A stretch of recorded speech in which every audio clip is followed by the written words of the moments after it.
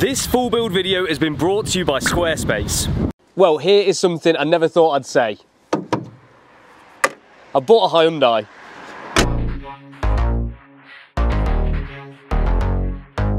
And the reason I never thought I'd buy one is because they've always been sort of middle of the road cars, which are perfectly fine, but not really particularly exciting. Hyundais typically seem to be more catered for blasting to the shops than blasting around the Nürburgring or for taking your Westie to the park rather than doing laps around Cadwell Park. That is until now. So most of you probably know this, but this is a Hyundai i30N. N to Hyundai is what AMG is to Mercedes. It's like the performance division. So the Hyundai i30N is supposed to be a platform to rival something kind of like a Golf GTI. Now I'm going to be real with you, I don't actually know loads about these cars, but from what I've seen already, I quite like it. And with good reason, let me tell you exactly why. So from what I can tell, the i30N is trying to capture the essence of hot hatchery, which I think some of us are forgetting about because it's got a manual gearbox, enough power, and a pointy little car, which is a really good combo for blasting around British roads. I have to be honest, I was quite happy when I seen this had a manual gearbox. I know they do have an option of an auto. I'm not sure if that's just in the facelift one, but I think that should make it quite fun to drive. It's been a long time since I've driven a front wheel drive manual car with a bit of power anyway. And from what I remember, it was always quite enjoyable. And not that I'm hating on them in any way, shape or form, but a lot of hot hatches these days do seem to go for automatic gearboxes, which does take a little bit away from the driving experience, even though it does make the car faster. And that's why having a manual gearbox for me is quite a nice refreshing change. Now there is more about the car like than just the gearbox because that hot hatch essence seems to be spread throughout it consistently. So the wheels themselves are these 19 inch diamond cut ones, which are all right, but the brakes are quite nice and chunky. I believe they're just single pots, but they look a decent size and they look like they're gonna work well to me. There's also a bunch of really nice styling accessories around the car to give it a bit more aggression, like the diffuser on the back, the spoiler, the side skirts, and well, we'll come back to the front bumper later. Now, one of the things I quite like about this car is the fact it's sort of the underdog really, because who in their right mind is gonna go and buy a brand new Hyundai when you've got the alternatives out there from VW and BMW uh, why would you go and pick this? But I think Hyundai knew this when they were building it because they've really spec this car out well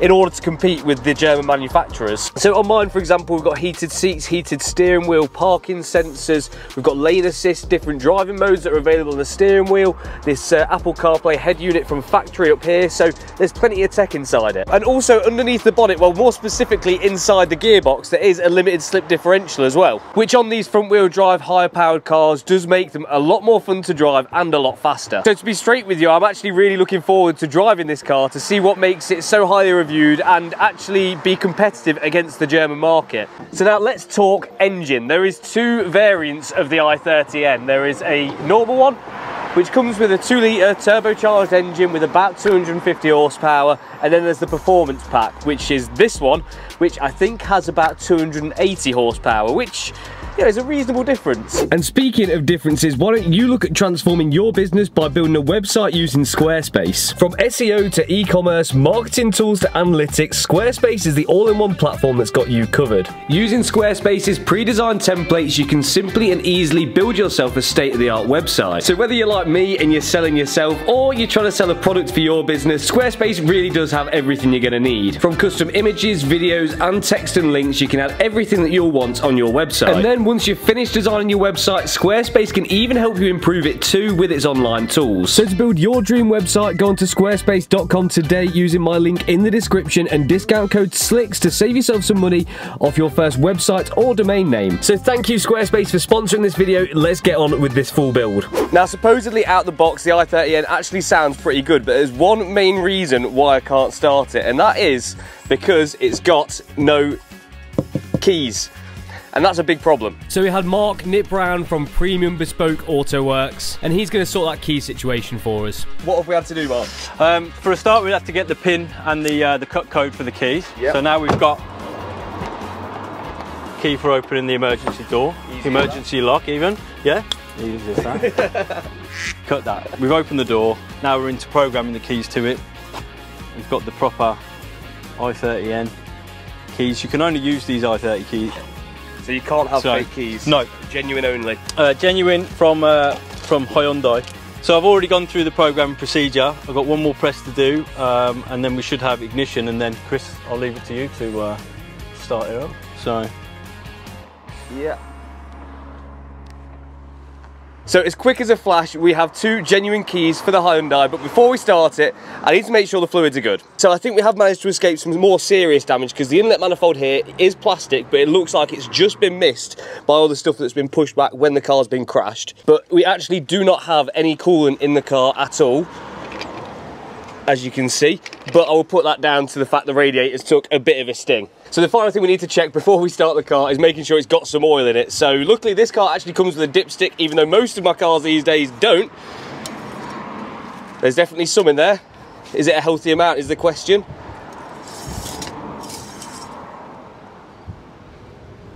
I'd say we're looking top notch, top tier. We're ready for a start. Can I have a uh, key please, my friend? So the car is now ready for its first start, well, potential first startup. Let's see how things go. If the car does run, I think we are off to a good start on this project. I'm a little bit nervous. I can move the seat now. Wow. So we are armed with our two fresh keys straight out the box. And we have our little engine start button down here. Let's see. Well, ignition on first, I guess. Oh, maybe not. She's on! Hey! Okay, we've got a few warning lights. We've got traction control, tyre pressure, ABS, I think that's a collision warning. But it sounds good, it sounds sweet. That's, oh, sounds all right. Race mode, where you at? Oh yeah, there. Whoa!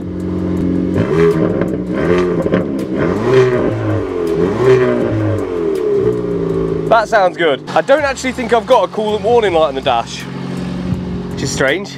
I mean, that is quite a result. At least it starts and it sounds healthy. It sounds good, but there is a lot of lights on the dash. So now I'm armed with a key for the car and I can actually start it. Let's pull it forward and have a proper look around it. Hopefully it starts this time anyway.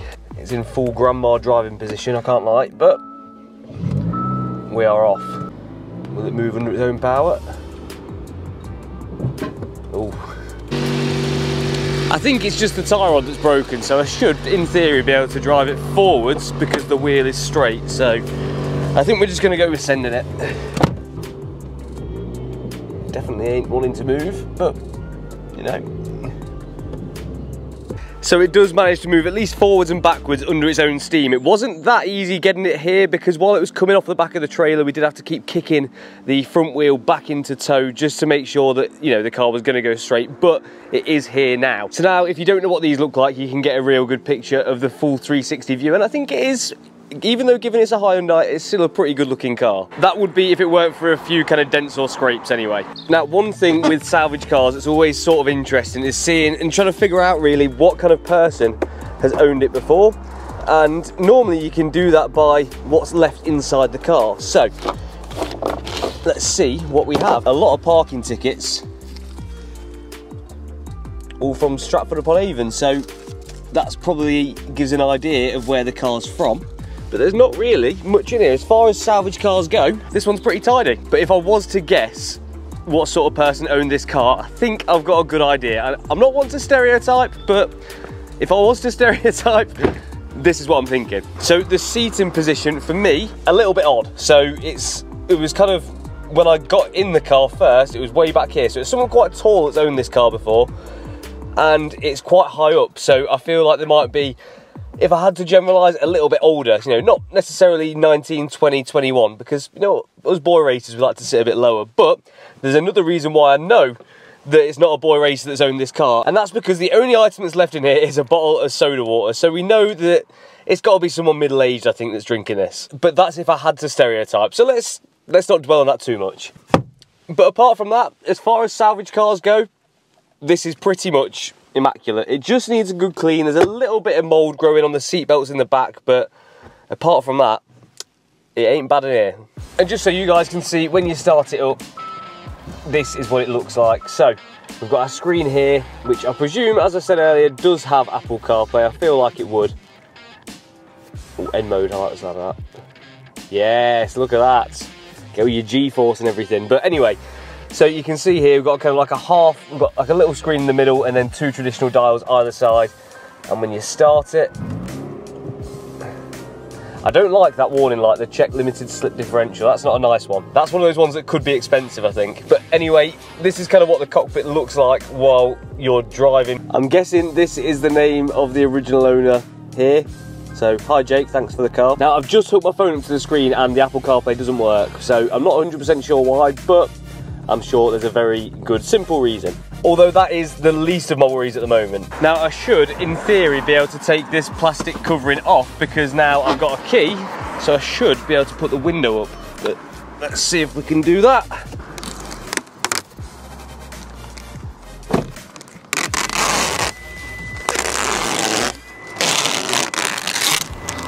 Christmas Day. Oh, sorry, these have got to go. They're just disgusting. So obviously with this car, it does have a few little imperfections. So I think it's only right we quickly run through those. So the first thing is on the boot. There is a slight nick just there, but it's definitely perfectly salvageable and not worth replacing this panel for. Now, the next thing, the back bumper. This one probably I think this one needs to go. It's got a hole in it, it's scuffed up to a next level. I'd be interested to know how this car has got damage on the back and the front at the same time. It's, it's a bit of a strange one. Then coming round a bit, there is also some damage on the rear quarter, which has took a good knock and is a little bit out of shape, but it does actually look slightly worse than it is just because of the way that the bumper's sat. So if the bumper was sat where it should be, this damage wouldn't look as bad. I think it actually only comes to about here with a tiny little bit just here, so not too bad. There is a small scratch on the front, so we have got a little bit of damage that needs to be repaired. Um, starting from around here, the wing, obviously, this one's toast, we need to get a new one.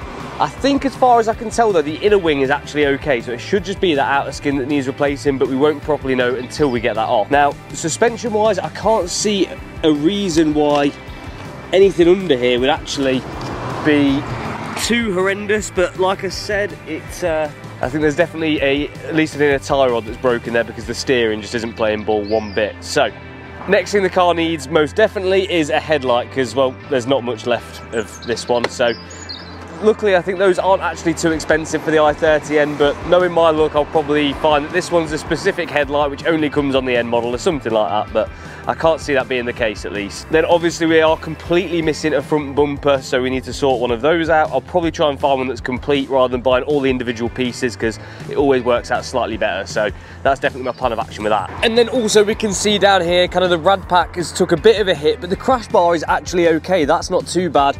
Um, but also the radiator that looks a bit bent and I'm sure there'll be a little bit more when we strip that back so that definitely needs a good inspection. But the question is, did I get good value for money on this car? Well really in my opinion it's a tough question to answer. So this car has got 30,000 miles on it. It's a 2019, so that means it's actually got one year of warranty left, but somehow I don't think this damage will be covered, but I paid £7,900 for it, and considering something with about the same age and mileage would go for, I think, about 20, I don't think I've done too bad. So I've contacted Hyundai to see what it would cost in parts from them to fix my crash damaged Hyundai i30N. And their total price in parts was £9,186 and 76 pence. So I guess that makes it a little bit more obvious as to why the car's written off. But I think we can do it for a bit cheaper than that. Now we have got a problem down here. This wheel is just all over the place.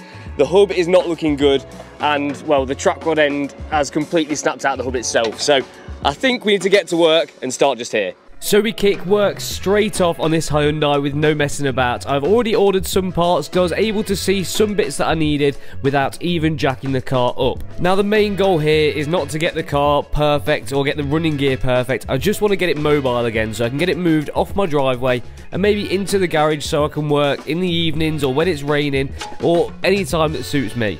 Nice. So first thing is, is this wheel okay? Is that a crack or a gouge? Gouge. Gouge, gouge. I think it's all right. Yeah, I do. I think it's worth a try. Anyway. Yeah, just just to get it around. Is that a nice? Uh, is that a hole? Pop it back. That'll see another day. That will. So let's have a look. What's going on here? So the hub has well and truly had it. That's sheared off there. That's why we have no steering at all. But everything else actually looks alright. So that hub definitely does need changing, but before I do that, I want to take the wing off. One, so I can see what I'm doing better, and two, so you guys can see what I'm doing better. So the first step to that is taking the arch liner out, and then I can take all the bolts out for the wing and get it off the car. Bin!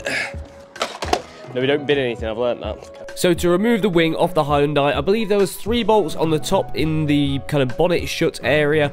There was a couple around where the headlight go. There was some in the door shut and then some behind the arch liner tucked up by the door shut as well. So there was plenty hiding around everywhere. Now, I think the good thing about rebuilding something like this Hyundai compared to the Jag, which we're rebuilding on the channel at the moment as well, is that this car shares body panels with, you know, the more normal Hyundai i30 as well. So it's much easier to find parts for, which is a good thing. And even the bumpers actually come on the N-Line models too, so that should make it a lot easier. You've only gone and jinxed it. Right, it's bad news. It's well, it's not that bad. So we've got these kind of bits of, what do you call them, I suppose, tin bits? Whatever they are anyway, they're all crumpled. So this one here is kind of like the inner wing bracket, and we've got this one here as well, which obviously connects this leg to this one here, uh, and also is holding up all of the fuse box, the air box, everything like that, and it's all just, well, it's had a good whack, and realistically, because we're not bodging it, it needs replacing. You can see the bend in it here, the little split. We've got, obviously this one here is supposed to be kind of way out here, so it's miles off really. But the good news is the chassis leg is how it's supposed to be, and that's the main bit because that would be a ball ache to fix. These, they're inconvenient, but they're definitely doable. I actually thought this one was going to be a super easy, bolt on some new panels and get it going, but I'm not actually mad that this is like this because well, I suppose it gives me the opportunity to learn how to do something new.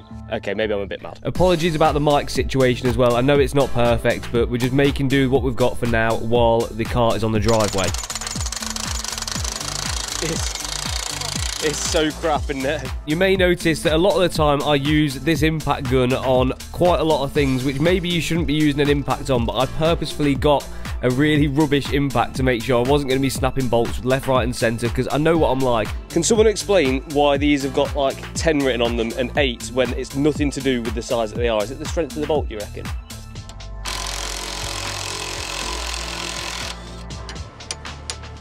So now it's just to remove the caliper from the disc. We're going to be keeping this caliper in place to save bleed in it. And also we want the brake pads and disc to match the other side so they wear equally. So it's just the two caliper bolts off the back.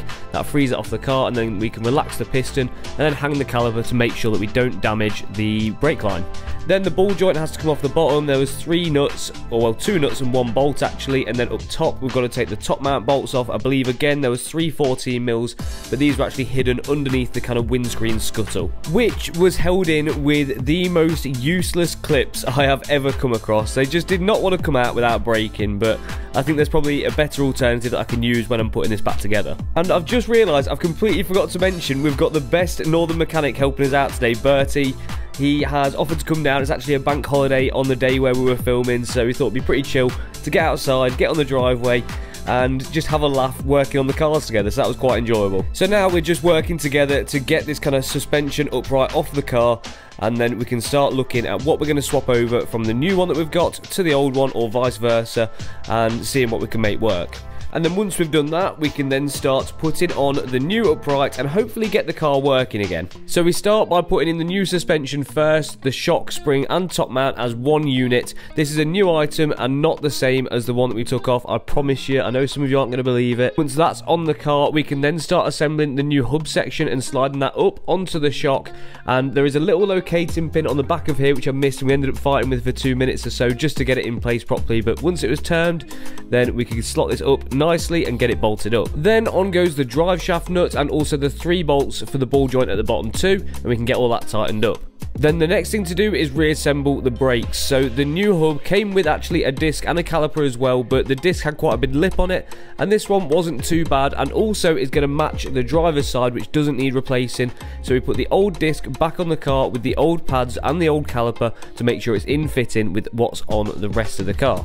Now we have two problems from here. The first one being this track rod end has a little insert from the hub which is completely stuck on it and we can't get it off. So we need to get some butane gas to be able to heat that up and then we can hopefully get that back off there and we can get the old track rod end bolted into the hub just for now. And also we need to try and sort out this wheel and tyre situation for it to be mobile. We need to try and get this tyre or get a new tyre popped onto the rim just so we can move the car around. So I took that wheel and tyre down to my mate Josh's garage and he was then able to try and put the old tyre back on. Unfortunately that didn't work but we had a Michelin line around that was just the perfect fit. So that popped straight on there.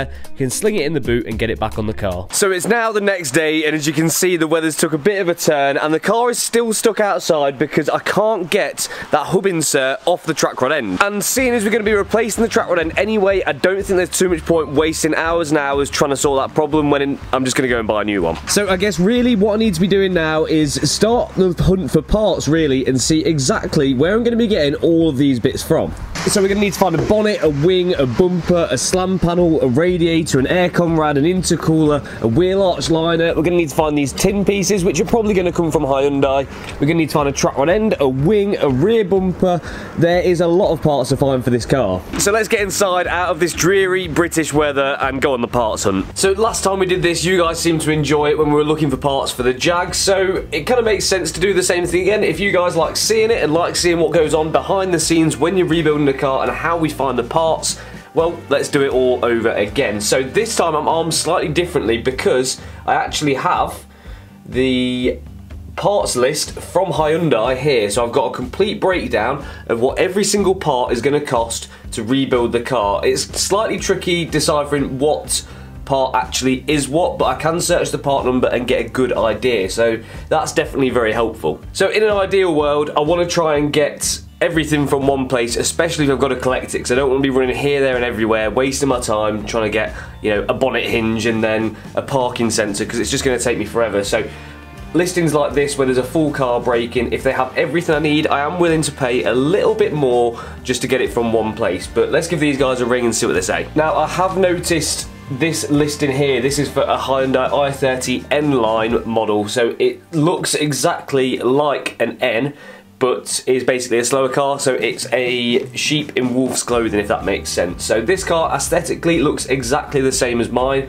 So the bonnet will fit, the bumper will fit, the headlight will fit, the wing will fit, the rear bumper will fit, so that's absolutely fine. But the rad pack is different. Otherwise, to be honest with you, I probably would have just gone and bought this because this is a complete front end, including the rad packs and everything like that for £3,600 and that should pretty much assemble the full front end of the car and get that sorted if I didn't have the slight differences with the radiators and intercoolers and stuff like that. So I'm going to leave that one I think because I don't need well, I don't need a spare headlight, I don't need a spare wing, I don't need parts that don't fit lying around the house. Now I have messaged one breaker here, hopefully this can focus. I gave him the full list of everything that I was after and he said everything on there has been sold but he does have a rear bumper but the upper section is damaged so that's completely useless. Now I'm not sure what I think to this. This is a 2018 to 2021 Hyundai i30N front panel complete, slam panel rad pack complete.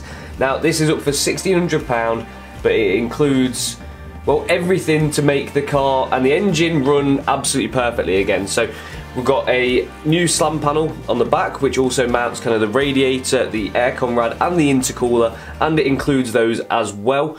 Um, we've also got the crash bar on the front, we've got the horns, so in theory I should be able to unbolt the bit on mine that's broken, basically from the back of the crash bar, pull it off as one unit, bolt this one on and it's all pre-assembled so it's just plugging in the hoses, plugging in the plugs, bolting it up and it's good to go. But it is £1,600 which I don't know if that's a bit expensive because going back to my list here, I've kind of roughly totted everything up that I can see for the, um, you know, for that, to basically build that section up without buying that. And I think brand new it comes to that as well. So what I'm going to do, I'm going to throw the seller an offer, a reasonable one, and just say, look, this is what it costs brand new to buy everything. I'm happy to pay this for yours, which I think is fair. Well, you know what? I'm not having as good a time with this as I thought I was going to. This, I thought, honestly, I thought this was going to be like shopping for cereal in the supermarket or something, just picking parts off a shelf. It's the opposite. There's like, there's so many cars breaking, but the people who are breaking, well, parts have all sold, parts have all sold. Do you know what? If they've all sold, take them off. It's just frustrating. It's just, it's so frustrating, especially when you buy the car after looking at this sort of stuff, saying, "Oh yeah, there's plenty of parts available," and then you go to buy them, and it's well, the people who are selling them haven't even got the parts they're. It's have the same problem with the Jag. It's even down to the headlight. So I've got the part number off the headlight which is broken on the car and that is G492122030 which great there is headlights for sale but again another massive but there's two different sorts of headlights on the i30 there's the ones with the silver inserts which are basically these ones here where around the outside there's like a silver eyeliner almost look. And then there's the ones where it's black which is what comes on the i30n and yet again there is no matching part numbers which are all black for sale. So my look just amazes me sometimes honestly. I'm not having fun here. But one thing I did find on the breakdown of parts on here is the daytime running light. So it is just a daytime running light and the price of it is £1,045 and 81 pence each. So that's £2,000 in daytime running lights if I was to buy them brand new from Hyundai. That that cannot be right, surely. A thousand pound for a daytime running light. It's like it's this big. Especially when especially when the headlight, which is just here, is £675. So it's cheaper to buy a whole headlight than is a daytime running light.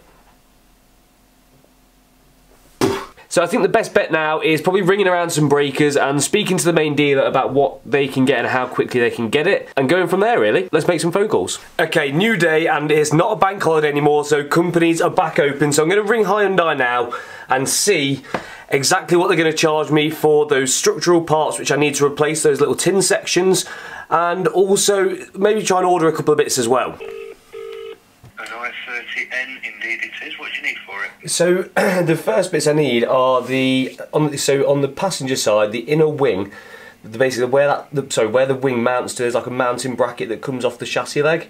And both for the near side. Uh, yeah, pass yeah near side. That's right. Right, the bit uh, that runs across the top, that uh, top on, on, the left of the photo. Yep. They're listing that as a member front wheel apron. For the left hand side, it's 163.47. No, it's not. It's 163.74. Okay. And the whole inner wing is not much difference actually. 180.25. Fantastic. Are they in stock? Are they? Or? Right. The main inner wing will in fact go to back order if we. Uh, the order through. Right. Because there's none actually in the UK and there's none in transit to the UK, so there's an outside chance that might be a 10 week wait from Korea. Unlikely, but possible. No worries. That would that would slow things down. Well, that's not good news. So they only sell the section I need as the full inner wing, which means replacing the strut tower all the way back to way behind where you can see essentially, which is a much bigger job than just taking out those sections which we're talking about and just welding in new pieces. So that makes it a much bigger job. And not even just that, like you just said, they're on back order for 10 weeks potentially. So that could really, really slow the build down, which is not what we want to do. Especially when there is this one for sale, but this is for the driver's side, so it's obviously going to be no good. But we've got the bracket here. Don't know if you guys can see that we've got the bracket just here which we need which does is just spot welded on and then this inner piece here which again is just spot welded and seam sealed on so it is a replaceable part on the car but I can't buy it which is again frustrating. There seems to be a bit of a pattern with this car already. I think some people in this situation might be put off straight away by this, but I refuse to be defeated and I will fix this problem. But I really wanted to give you guys a definitive answer on how I was going to do that on the i30N in this video, but unfortunately I can't because I don't know myself. This is the final part stopping me from driving my Hyundai i30N. Okay, maybe I can drive it forwards and backwards, but at the moment I've got no steering because you may remember from last time we changed this whole corner suspension because it was damaged in the crash that this car was involved in. So after I've done this, I said I could drive it, but maybe not legally. And that final part that is going to stop me from driving the car at the moment anyway, is the track rod end. Last time we didn't have one that we could fit to the car, but now we do. And as simply as screwing that on, one bolt, and that is fastened onto the car and we should have steering again. I simply set this up to where the old one was but we will need tracking in the future to make sure that the car drives straight. Then the final bit, something I've not seen in a long time, is a split pin.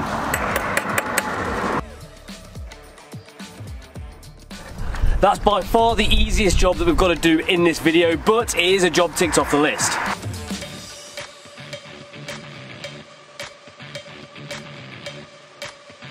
So the Hyundai is now magically teleported to the back garage and we're not going to do anything on the front today. We're actually going to concentrate on the back because the back bumper has a little bit of damage, well quite a lot of damage because well the rear skin has been absolutely annihilated. It's got a hole in it here its mounting points are not looking good, and also the rear quarter is not healthy either because, well, that's took a bit of a shunt too. Now, I wouldn't know necessarily what to do with this in order to get it back into shape, but luckily I know someone who does. You may remember Joe. Hi, Joe. Joe used to work for me and now works in a body shop which does insurance repairs. So essentially, this is you all day, isn't it?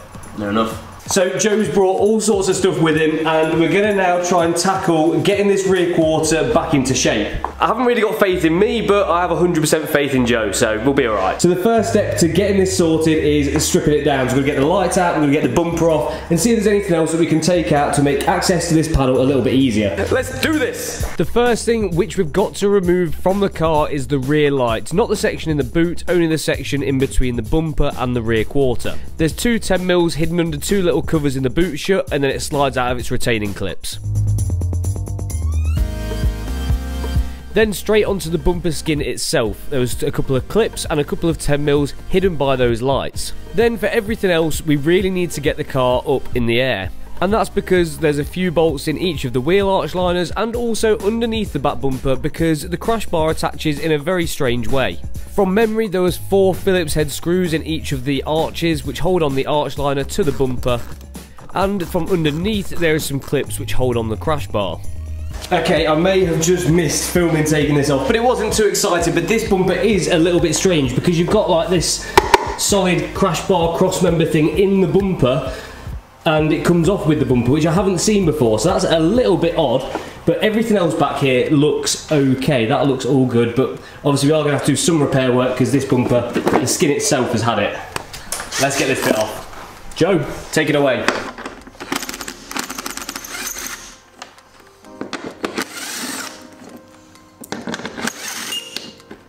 Nice work. So luckily this bumper bracket survived the accident, but Joe pops that off with his expertise. So next step before we can do anything with this is we've got to get it back to bare metal. So we have Grindy Boy.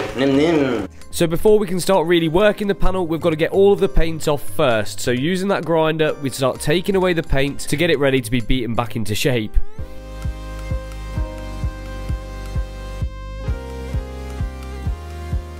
Now, some of you may know my background is detailing, so doing stuff like this for me is, well, it feels completely backwards. It feels wrong. Normally, I'd be polishing paint with a soft polishing pad and polish, but at the moment, I'm using an angle grinder. But Joe is doing his best to teach me this process so I can do it for myself, hopefully in the future, because practice really is the only way to learn. That was easy. So right at the bottom of the wheel arch, this had been pushed in, so Joe taps this out and slowly taps it back into shape. That was pretty good, actually. And as quickly as that, that is then done, and then we can start pulling out the more awkward sections of the panel. So Joe just uses a mini belt sander just to take off any last little bits of paint because we want to try and get as clean a weld to the panel as possible. What's next then, Joe? Tell us what's next. Got the miracle pull on it. Miracle pull on here. We've got it back to metal, so what does that do? Does it weld bits to that? Yeah, um, a couple of these tabs. Yep. And pull a bar through there. Then pull it out. Pull it. Yeah. Do we heat it up? Uh, no.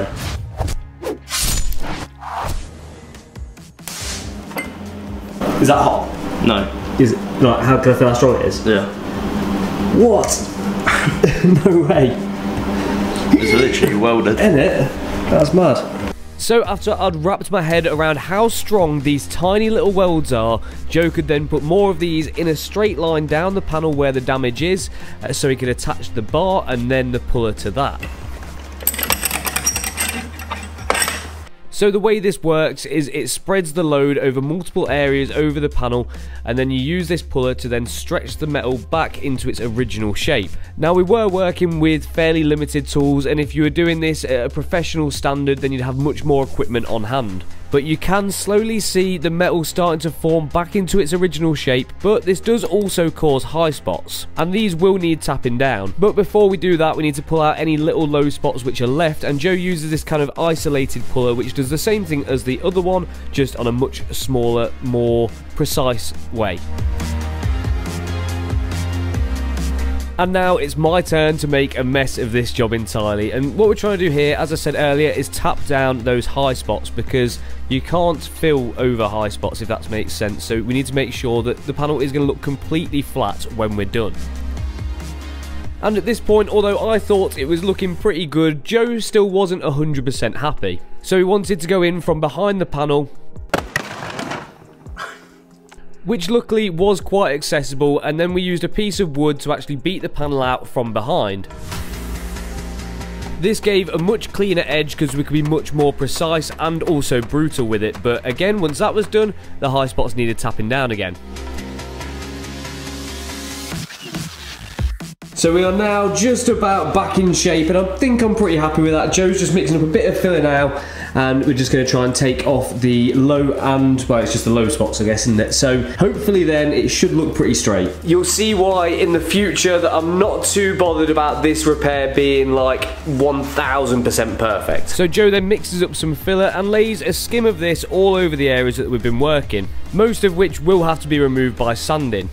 Now, I'm going to be real, I don't really like showing you guys bodywork because a lot of you think that really good body shops use like zero filler and that anything involving filler is a bodge where this just simply isn't the case. A lot, well, every body shop uses filler. It's all about going through the process to get the end result looking right.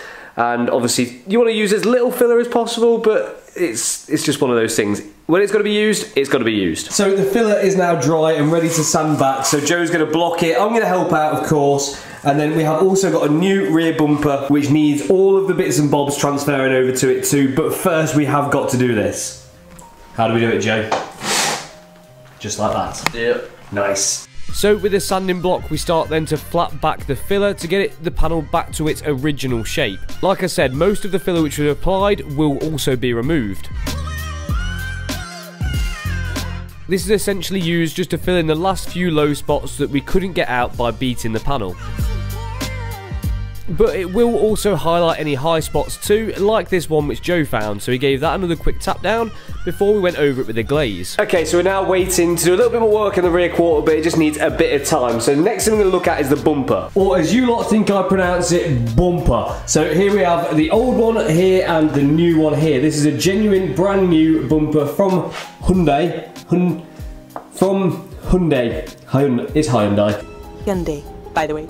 And you can see why we're replacing it here. So we've got a massive crack and all this kind of gouging out of this one. But the actual trims and everything in this bumper are all, as far as I can tell, okay. There is a scuff on this parking sensor here, but that can be sorted by a body shop very, very easily. So what I'm gonna do now is transfer everything over from this bumper into this one, and then that one can go on the car once this repair is done.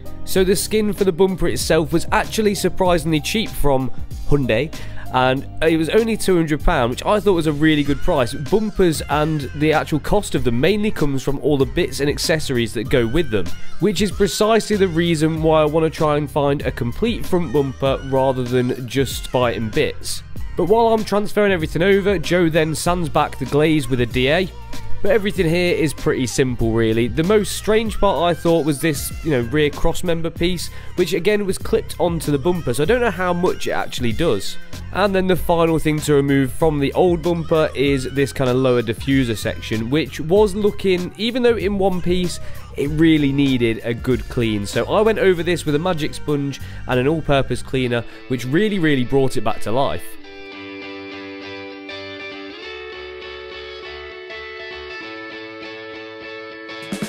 And once that was cleaned up and looking as good as new, we could then stick that onto the new bumper as the first piece and work backwards from there. And that just clipped in with six screws, two in the middle and four on the ends.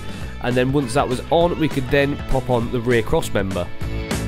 Oh, and also, let's not forget these two lower grills as well.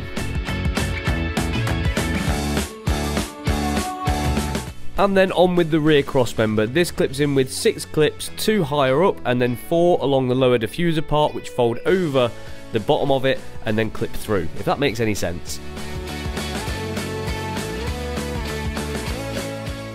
But in the time it took me to do this, Joe had absolutely smashed out that rear quarter and got it completely finished, bar a lick of paint anyway. So here is where we are at. The rear quarter is just about there. There's a few little tiny bits which you'll need to go over when the car gets painted, but that is absolutely fine for now. So now that is all sorted. The rear bumper is now reassembled, so we have the new one over here.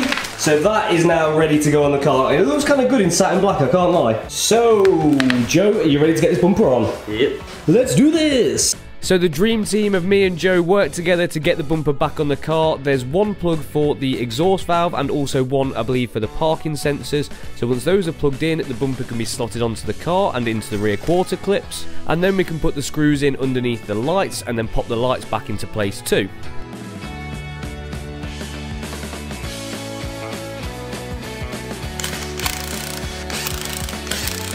So now the final step, just to protect this area so the bare metal doesn't rust and whatever else, we're just going to hit it with some primer and leave it like that until the car eventually goes to the body shop much further down the line. More specifically an etch primer because this allows it to stick to the bare metal a lot better but this will probably all be sanded off when it actually goes to the body shop. It's just of more a temporary protective measure, it's not going to do loads though.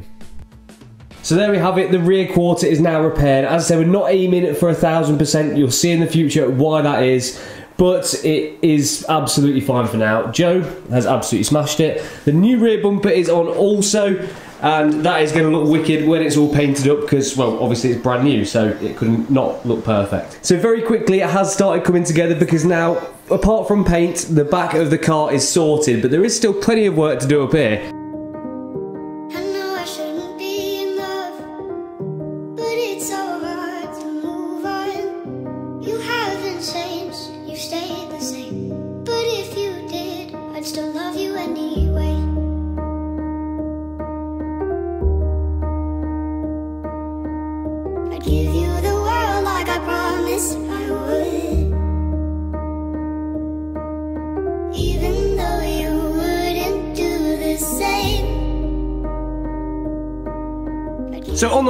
Pretty happy with that. I can't really complain. And like I said, there is very good reason why I've done it like this, but it will all be explained to you guys in the future. Now, next thing to look at is the front end, which is pointless starting to assemble at the moment because we have these tin sections on the car which are damaged at the moment. And some of you guys have said just bend these back, which I definitely could do, but you know, this one is slightly ripped here, and this one has took a fair shunt in this direction, causing it to crease up here.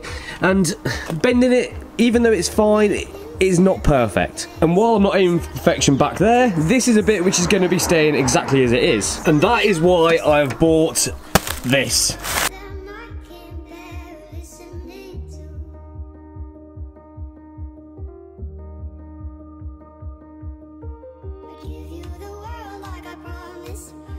Jesus Christ, that was a mission to open, but I got there in the end. And this is essentially a chassis leg for, well, it is a chassis leg for an i30N. And I'm not going to be using the whole thing because of the way it's been cut. It's been cut from the front of the strut tower, so it's actually no good. But the bits I need are perfectly fine. So that would be this wing bracket here, and this inner kind of bracket here. Now these are all spot welded on, as you can see, so it should be nice and easy to change over. I don't think on those bits, as far as I can tell, they actually use any seam sealer.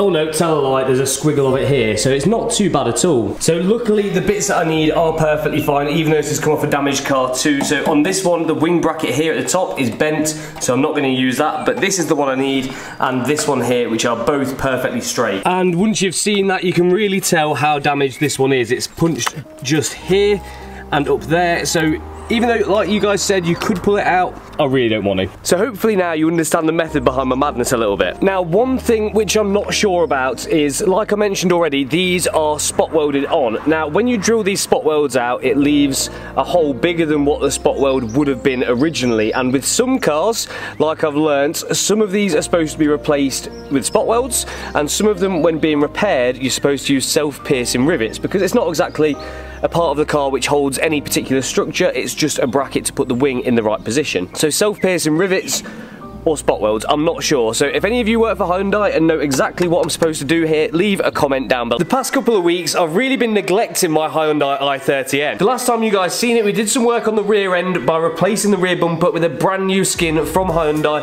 and also pulling out the rear quarter to get that back into shape. So now the back end of the car is ready for paint, but the front end is a long way off. Because apart from repairing the suspension damage, which we've already done, the front end of the car I have not touched one bit. It needs a new bonnet, it needs a new wing, it needs a new headlights, it needs a new rad pack and slam panel. But before any of that, we've got to replace these bits here because these bits got a little bit crumpled in the crash. So I've nipped down to my local Screwfix and picked up a cheap little mini belt sander. And on top of that, I've also borrowed this drill bit which is specific for taking out spot welds. And I've also got the new pieces here which I'm going to replace those ones with. And you can see around the edge, these are all the spot welds which I need to remove. And then once those are off, I'll be able to remove those tin bits from that section which I've got there and transfer them over to my car. Which will then give me the perfect base to start building the car back up. Let's do this. So this is a first for me. I've never had to do any real structural work on a car before, and I've especially never had to do drilling out spot welds and re-welding panels on, so bear with me here a little bit. So I started off by drilling pilot holes and then going in with the spot weld drill bit until I got all the way through the weld. Okay, so there we have it. The first bracket is now removed. It did actually turn out that the drill bit that I borrowed originally is actually really blunt, so I wasn't really making great progress. I nipped out, got a new drill bit, and it cut through it like a hot knife through butter. So there's one part off. I've kind of got the knack for doing it now, I think. We can start on with the rest of it now. The outer wing bracket had been removed. Now it was time for this internal kind of chassis brace part. There was a lot of welds here, probably about 50 maybe in total. So it did take quite a while to get through them all. But after a couple of hours, I did start getting there and it did become loose until I could wiggle it off that cut of chassis leg which I had.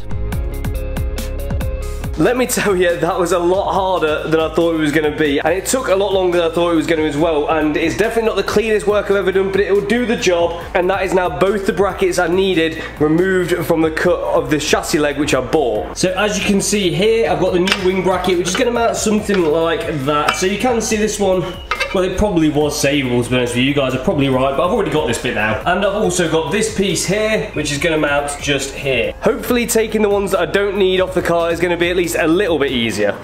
Spoiler alert, it really wasn't, but I had to access them, so the thing that I had to do first was remove all of the stuff that was going to get in the way. So that's the fuse box, the air box, and the battery and battery tray.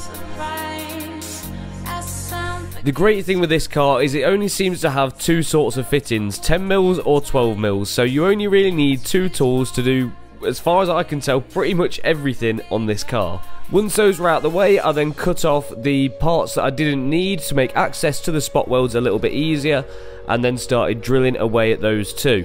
And if I'm being real, I did get a little bit tired of it here, so I may have called in some help.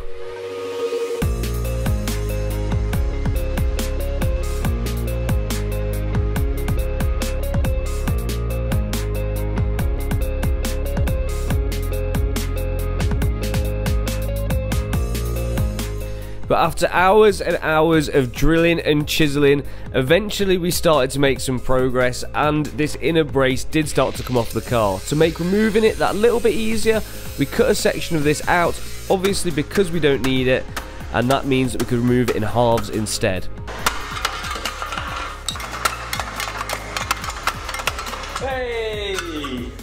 And finally, we got them off the car, so now I could start cleaning up the new sections using my new little finger belt sander just to make sure that this surface was going to be as clean as possible and weld to the chassis leg as nicely as it can. So then it was time to transfer that onto the car itself by welding it into place, or more specifically spot welding it.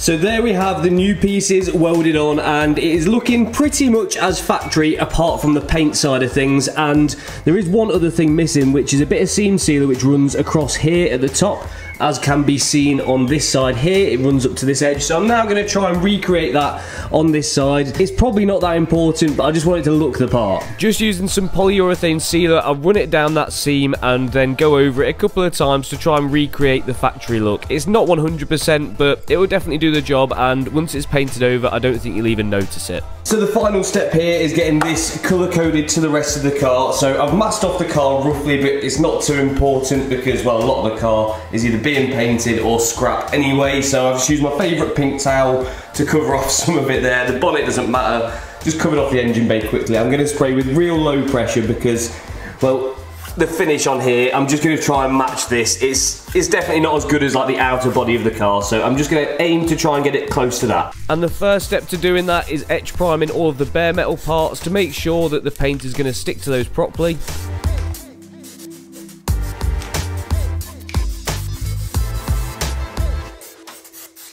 And once I'm happy that that's done and dry, we can then swap over to our base coats. The colour for this is called Performance Blue. So I went down to my local paint suppliers and got a litre of that and sprayed over with a super low pressure, one to minimise overspray, but two to make a bad finish the same as on the other side of the engine bay.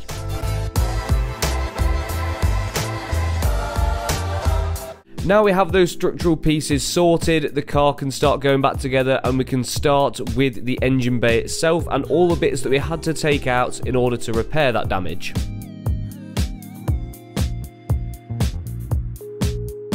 The first thing to go back in is the fuse box, which is held in with three 10 mils, one on the strut tower and then two on that piece that we've replaced. I feel like having those structural parts done is a weight off my shoulders and it's definitely the much better way of doing it than trying to pull them back into shape because once they're bent like that, they're never going to be quite the same. Now we have the battery tray back in place and also the ECU bolted in too. So now it's just to plug that in and then we can refit the battery.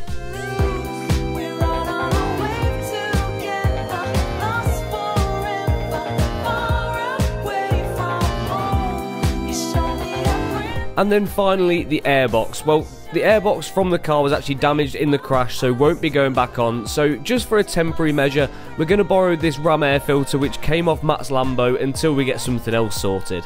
So now that structural piece on the car is now sorted and it is back together, we can start looking at reassembling the car, but we all know I'm a fan of the modification here or there. So the guys at RPM Performance have kindly sent us out these pair of bloody boomerangs, mate. What do you think I'm going to say to you? No. Correct. Goodbye. I'm sorry, that was awful, but these are wishbone strengthening plates, so essentially they well, the clue's in the name, they strengthen the wishbones, but they stop things flexing because these are the standard i30 wishbones. These add a bit more rigidity to them, and if you do end up pushing the car a bit harder, these are gonna take it. Let's get it didgeridoo. Okay, so this is the underside of the wishbone right now, and you can see right here, we've got a bolt and two nuts for the ball joint, and then there's four holes, one, two, three, four. And these are the locating points for those wishbone strengthening plates. So we're going to start by taking these off and then put it on and back on with these. And then we can use the bolts and nuts which come supplied to bolt it into here. I hope you guys can see that. So the first step to that, if I didn't explain it very well in the first place, is undoing the ball joint at the bottom. So that was three 17 mils. Then I can pop those back in once that strengthening plate was in place.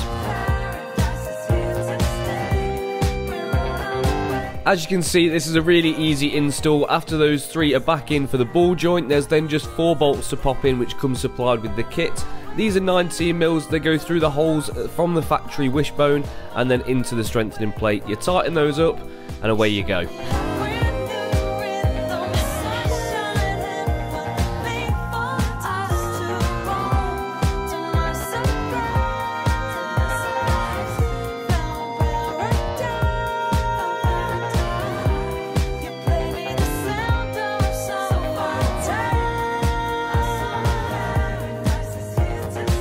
So I just wanted to say a massive thank you to the guys at RPM Performance for shipping out those wishbone strengthening plates. They have also sent us some other bits, but we're going to come back to them at a later date. We've got some more to do on the repair side of things for now. So I guess this is the next stage in the rebuild part because now I'm ready on the wing side at least to put a new body panel on, but there is no point me doing that until I've got this mess sorted. Now I could go to the main dealer or look online for the individual parts to replace and strip it down and see exactly what I need and what I don't and you know see if I can get away with some bits and see which bits I definitely can't get away with. But I just don't really see the point in doing that when I can just go and buy this. This is a complete new rad pack and slam panel in one. So that includes the actual structure itself. It includes the fan on the back, which this alone is 450 quid from the main dealer. It includes a bunch of hoses. It includes the horns, which are a common failure point on these cars. It includes the intercooler, the aircon rad, and the radiator. Now, although the crash bar on my car is a little scuffed up, I'm happy to say that that is reusable, along with this lower piece down here too. So once I've got those stripped off, it should be pretty easy to take the old rad pack off the car, pop this new one on, and we know that everything is okay then. So the first thing to remove is the headlight. This is just held in with three bolts and some clips, so that comes off really, really easily. And then we can start looking at the crash bar and slam panel. So the way that this is held on is with two 12 mils which hold the crash bar to the slam panel, and then four 12 mils which go through the crash bar and the slam panel into the chassis leg.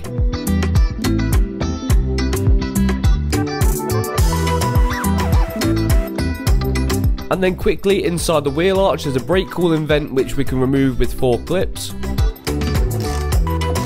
And a 10mm at the bottom of the wing which holds the slam panel to the wing and that chassis bracket which we'd already replaced on the other side. And now all of that's loose from the car, we can start removing some of the hoses. So we've got a top and bottom radiator hose to remove.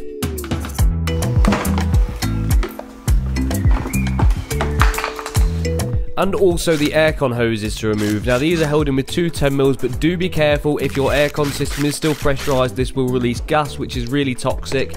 Obviously mine has a big hole in it, so that has already been depressurized. And then the final bit before we can get this off is the bonnet latch cable. Right, I've made a bit of a balls up here because I'm sort of trapped until I take this lower radiator hose off and well, it's definitely still to have some water in it, so I'm probably to get soaked. So there is three hoses left at the bottom of the rad pack. So we've got the intercooler, so there's one in and out for that, and also the bottom radiator hose.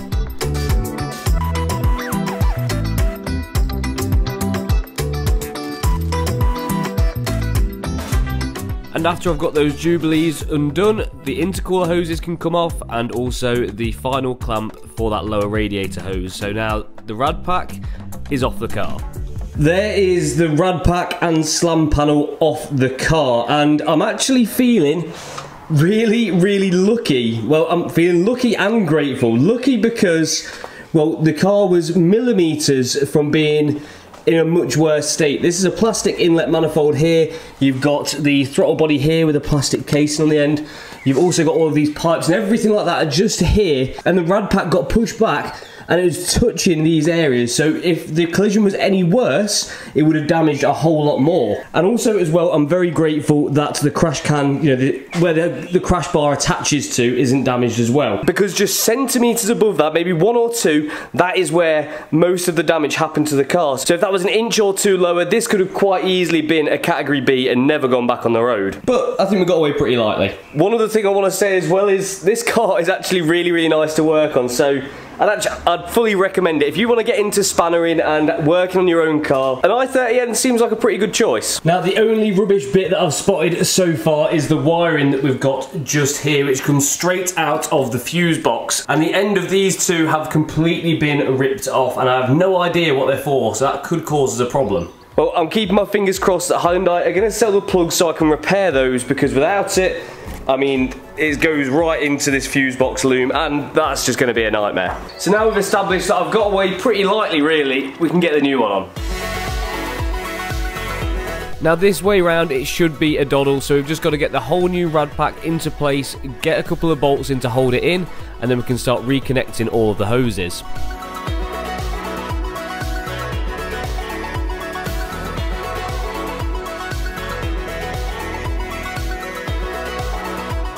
And once they're on, I can then put the crash bar in place with the two 10 mils which hold it to the rad pack, and then we can put the 12 mils in which bolt that and the slam panel into the chassis leg.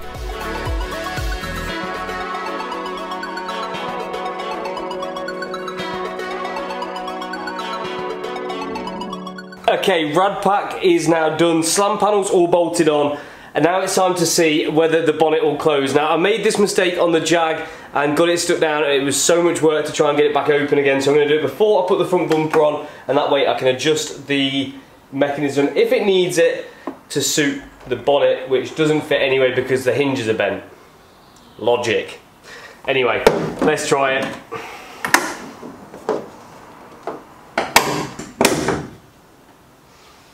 I mean, it looks good. I mean, you can't argue with that. That was precision. I think. So the final step is getting some coolant in the car and there's a bit of a debate online I think about what coolant you're actually supposed to use in the i30N and I think the reason behind that is because they come from Korea with yellow coolant in which I don't think we use in the UK and then it gets taken out and then that gets replaced I think with blue or green and then that mixes with the yellow coolant which is left in the system and makes this real bright kind of luminous green coolant which you see in the header tank. And well I haven't got that and the local parts place is shut. And what I have got is some G11 coolant here which I think online they say is okay for these but it's definitely better to have some coolant in than none. So I'm just going to put this in. So now just to pop back on the wheels and get the car back on the floor and start her up and enjoy myself a nice cup of coffee while the coolant system bleeds.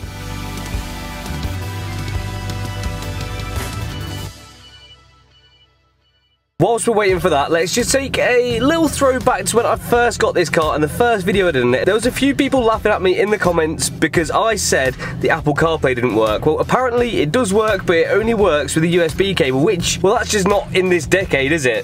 So the guys at One Car Stereo have sent me this. Now what this should enable us to do is use Apple CarPlay wirelessly in a car where it only allows a wide connection. So it comes with this little box here, which I'm going to place just there, and also a couple of cables as well. So this end will go into the car, just there, and this end goes into the box just there. And straight away, what's this we have here? So all we do on the phone is go for this here, AutoKit T-Box, pair, and then as quickly as that, what do we know? We have Apple CarPlay wirelessly in the i30N. Now I'm going to leave a link for these in the description, so go and grab yourself one. Remember, it only works on cars with a wired CarPlay connection where you want to make it wireless, so just bear that in mind and make sure your car's compatible before you buy it. So there we have the coolant system fully bled up now and the full rad pack on the front is all working perfectly apart from the aircon which obviously has to be regassed at some point. But progress is good. I feel like we're flying through the i30N but we still have more to go on it because we're still missing some obvious bits on the front end of the i30N. The good news for you guys is I do have more parts to get this car a bit closer to the finish line.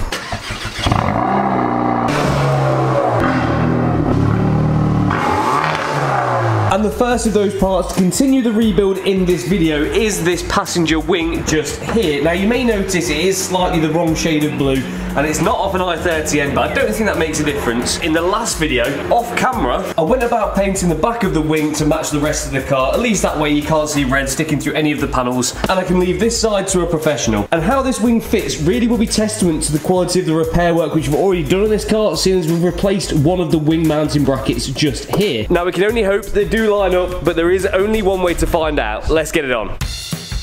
So we kicked this video off with a new wing which I got from Synetiq. It was about £200 which I don't think was too bad and worked out about £100 cheaper than buying one brand new from Hyundai. This is attached with a bunch of 10 mils which sit in the arch and also some at the top underneath the bonnet. Now, because I'm a man who has learned from his mistakes, I haven't chucked anything away for the i30N, and I'm glad I haven't at this point because there's a few screws which I needed off the old wing, which I thought were just scrap. And they go just here. I feel smug right now.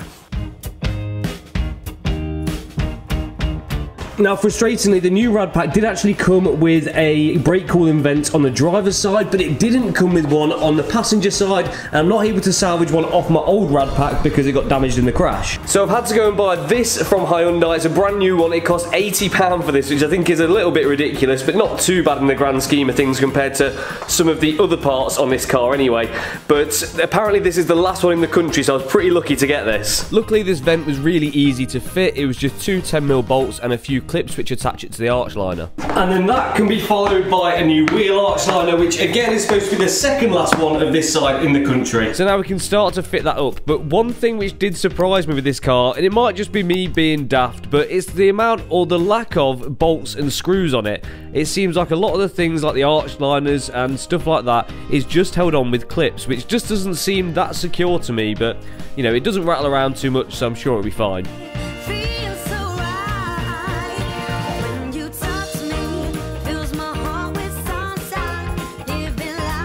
Now, let me tell you, this is a satisfying feeling having worked on this car and took it apart and got it back together with every single bolt in the right place, all the correct clips used. It's just one of those weird things that when you're rebuilding a car, it always feels like it's never going to be as good as it was, but it's a proud moment for me.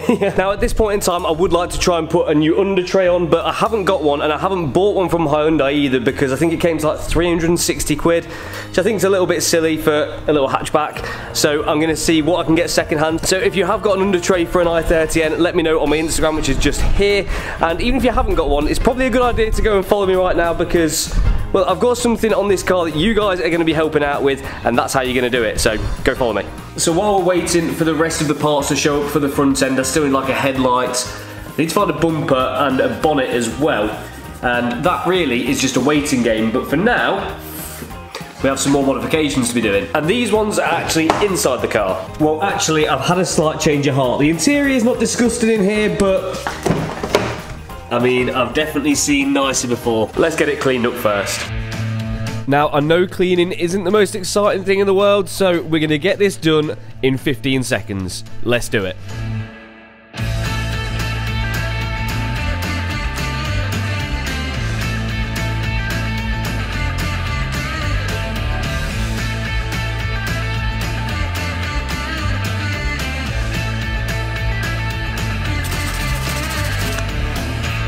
Well, that is definitely looking quite a bit smarter, and even though it wasn't too bad, it's nice just to get rid of all of the previous owners' bum crumbs and get it ready for me to own. But now we are on to the next bit, and well, it's something I've never actually fitted to a car before, so we're going to be doing this together, and that is a short shifter from RPM Performance. Again, the same as last time. They've sent this out to me. I'm going to leave their links in the description, and it goes somewhere underneath well, here, so, well, let's figure it out together, let's get it done.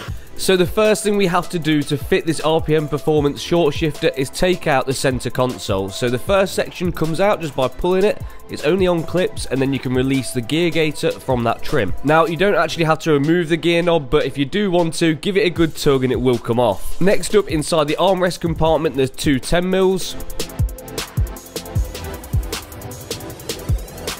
And then there's six more screws which hold the center console to the car. That's it.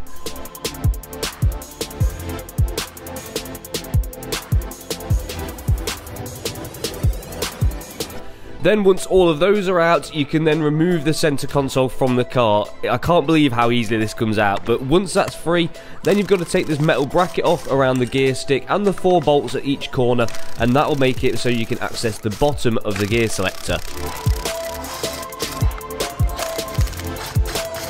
Okay, I've done an awful job of filming this, but this is what we've got underneath here. It's actually really easy to take the center console out. There was two bolts just here, there was two screws here, two screws here, and then two behind the plastic covers down there, and then it literally just pulled out.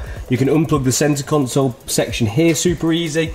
The whole thing is just coming to, it's literally held together with a few screws. It's, it's, uh, it's surprising. But anyway, here we are. I've managed to unclip this just here. You do that by pushing the pin outwards and then pushing it back and then you get to this here. So all I have to do now is take this plastic cover off, if you can see that, put that on here, bolt that onto there and then put it all back together. I promise you, someone who's competent could do this in less than 30 minutes. Me, maybe an hour. So once we've got the RPM performance bolted onto the bottom of the gear selector with that plastic clip we can start reassembling the car. Starting with the four 13mm which hold the gear stick in place, then the two 10mm which hold the metal bracket which surrounds it. Then it's back in with the centre console and the six screws and two bolts which hold that into place.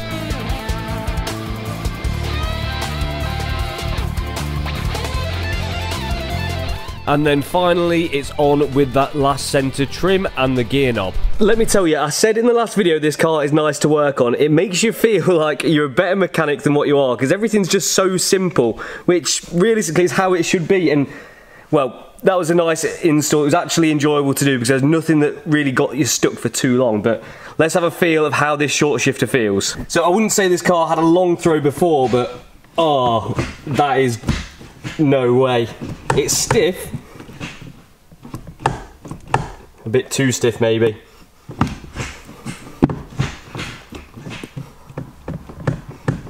I think I've done something wrong.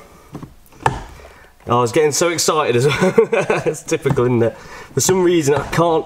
It's like there's something stopping me getting into fifth and sixth. But first, second, third, and fourth feel immense. The gearbox feels so tight now. I'll check back with you in a few minutes and let you know why I can't get fifth and sixth. So here is what was getting in the way. There's this little stud which pokes out of here, which this attaches to. So what I did, I've moved this kind of retaining plastic bit up the sleeve a bit further and onto this one which isn't being used and now I'm going to cut this one off I think. Not sure if that's what you're supposed to do but that's what I'm going to do.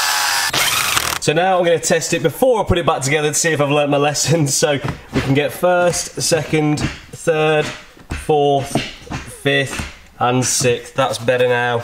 Let's just double check reverse. That's all gravy and we can see why it was catching down there. I'm 90% sure that's what you've got to do, but I may have just done it in a much more ghetto way. I probably should have just used a hacksaw or something, but life goes on. And all back together for the second time, so we're getting all the gears. That's definitely one of those mods where like the idea of doing it is worse than actually doing it, and now I know and you know that that little stud's going to get in the way. It's going to make it a hell of a lot easier for you to install on your i30N if you have one but my modifying itch hasn't been fully scratched. So the next thing to go in is some new sequential tinted wing mirror indicators. So after I'd removed the wing mirror cover cap and fitted the new indicator, that just clips back in and then it's on to the next part.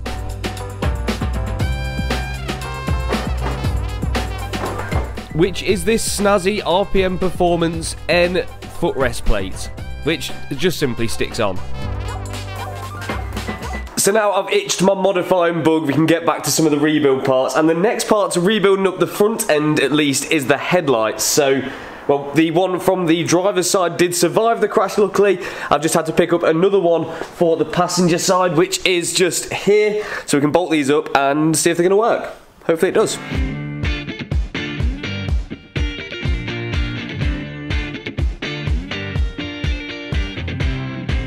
Now, some of the wiring on the passenger side has been damaged. That would be this stuff here. So this is for like the DRL and the parking sensors. But unfortunately, there has been some minor damage on the headlight plug as well.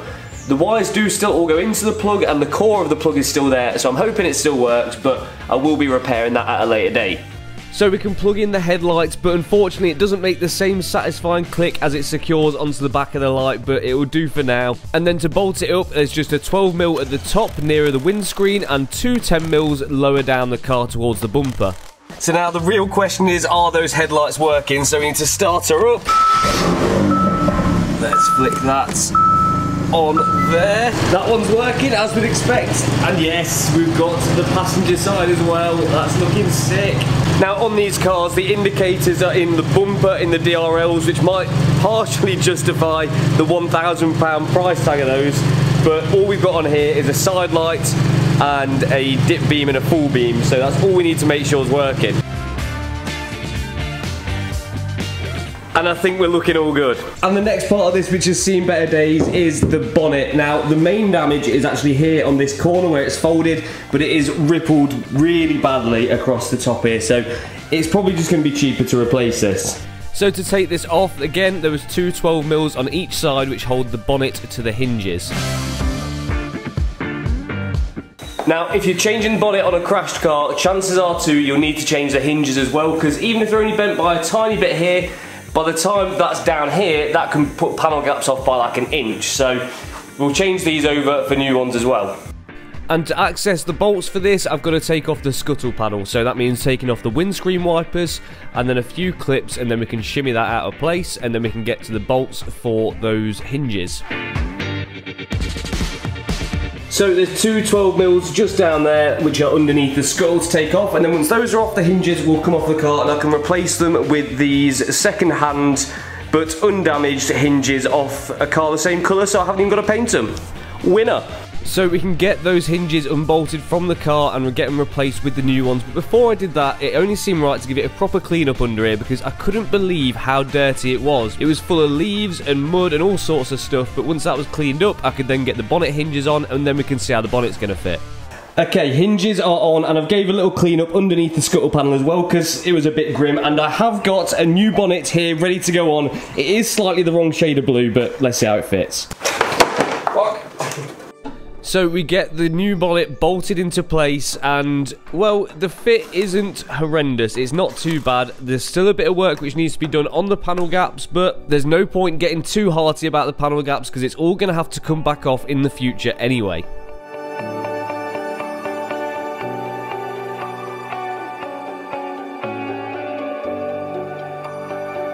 So then we can refit the windscreen scuttle and the windscreen wipers and move on to the next stage. So progress is looking pretty good. We've got most of the front end on now and working as it should it seems, but there is one more thing we can do before that front bumper goes on and that is sort out this bit of wiring here. Well, we can sort it to the best of our ability. I've managed to get one of these plugs uh, from someone else who's been rebuilding an i30N. This is for the DRL and the indicator in the bumper, and luckily all of the wire colours match what we've got here, so that's nice and easy. And then we've got three wires here for the parking sensors, I believe. Now, unfortunately, I don't have the plug for that, but I have got some well, OEM spec cable in the exact same colours, which is going to help me. So I'm going to extend these and then leave these hanging until I decide exactly what I'm going to do with those. And because I don't have a soldering iron or much equipment for electrical stuff really, but I want to do this in the best possible way, I'm going to use these connectors which have solder inside them and also heat shrink. So what you do with these is you strip the wire back, put both ends inside, heat up the center of it so the solder melts and then the heat shrink shrinks around both of the wires and waterproofs it and that is it done. It couldn't get much more simple than that. All I've got to do is repeat this six times for the DRL and indicator and then another three times to extend the wires for the parking sensors. Once that was done, I then reused the original trunking off the damaged wiring to give it that completely OEM look and then wrapped it in electrical tape to match the rest of the loom. I am happy with that repair. If you didn't know it was done, then you wouldn't know if that makes sense. But yeah, progress is looking good. Bonnet's on, the wings on, the headlights are in, and we're missing one last crucial piece, the front bumper. Now I've managed to pick this up for what I think is a pretty decent price. So I've got a complete front bumper, that's parking sensors, the DRLs, which are supposed to be a thousand pound each from the main dealer, all the foam sections on the back, the wiring loom, everything. And I got that in a package bundle with the passenger headlight and the rad pack as well for a total of £2,000. So for the price of two of the DRLs, I got all of that, which I think is a pretty good deal. Now because it's come pre-assembled, we ain't got to mess around with putting any of this on. It literally should just fit straight to the car. And I can't for the life of me see how it properly fastens because all the holes which line up on the bumper just look like they're holes for clips. There isn't anywhere to actually bolt the bumper into. And it's the same story on the wheel arch side as well. There's nothing it's just clip holes. What's going on? Let's just get it on the car and see what happens. So now we can look at fitting up the final piece to the face of the i30N. It feels like it was only a couple of weeks ago where I had this car delivered as a wrecked mess that could hardly even make it off the back of the recovery truck. So words can't describe how great it feels to finally be at this stage, but also to have took you guys along the journey with me. But I'd be lying if I said I was completely happy with the result. Although I'm happy we've brought this car back to near its former glory apart from a bit of paint and a bit of fettling, but I think this car has so much more potential than just that. It's so easy to get lost in the world of YouTube where buying another car on top of another car is the best thing to get more views. But I don't want to lose sight of my passion and what I enjoy and that's building and owning cars which are individual. Ones where it takes a true petrol head and blood and sweat and tears to build them from scratch. But we couldn't do that with a wrecked mess of a car But I think we have now just about sorted that. So there we have the front bumper fitted and, well, sort of fitted. I need to go and grab some more clips. There is only clips that hold it across the top here and in the arch liners. The only bolt I can find which goes into it is the one that goes up through here into the wing. Apart from that, everything's clips. Which does surprise me and seem a little bit scary, but it seems pretty solid now. But we do have another quick job to do. So now the final piece to go on to the bonnet and the assembly is just about complete. But I know there's going to be some of you in the comment section thinking, well, why have you put it together when the car obviously needs painting or wrapping at some point? Well, let me tell you, there's reason behind every single thing that I do, even if some of them are a bit stupid. Although what we've done up to this day is a big achievement, you really want to make sure you subscribe because for this project, let me tell you right now that this is only just the start. So today is the day that we've been building up to with the i30N because ever since I've got this car, I've never planned on leaving it standard. And you may have got the hints from the previous videos, but we have actually got a... Hello? Chris, mate, you've got to do something about that i30N. It sounds shocking, mate. That's a bit harsh, but I have got some bits to make the i30N sound a bit better, and it sounds like Ben wants to help out. And by the way, I promise we'll come back to that other bit soon. We've actually come to Warrington and had the car trailered here to the home of the boys at Evil GT. Welcome up north, mate. And we're going to be doing something today to play with the sound of the Hyundai i30N. Keep coming, keep coming, keep coming. And there's a few ways in which we're going to do that. The first of which being this. A Scorpion turbo back exhaust. Now out of the box, the Hyundai i30N is definitely not the worst sounding car. It's got a valved exhaust which pops and bangs, and all sorts of cool stuff, but a Scorpion one is going to be better. That is a big old package you got there, mate. It is. But before we start even looking at taking the factory exhaust off, I think we've got to do a sound check so we can compare it to later in the video to see how the new one sounds.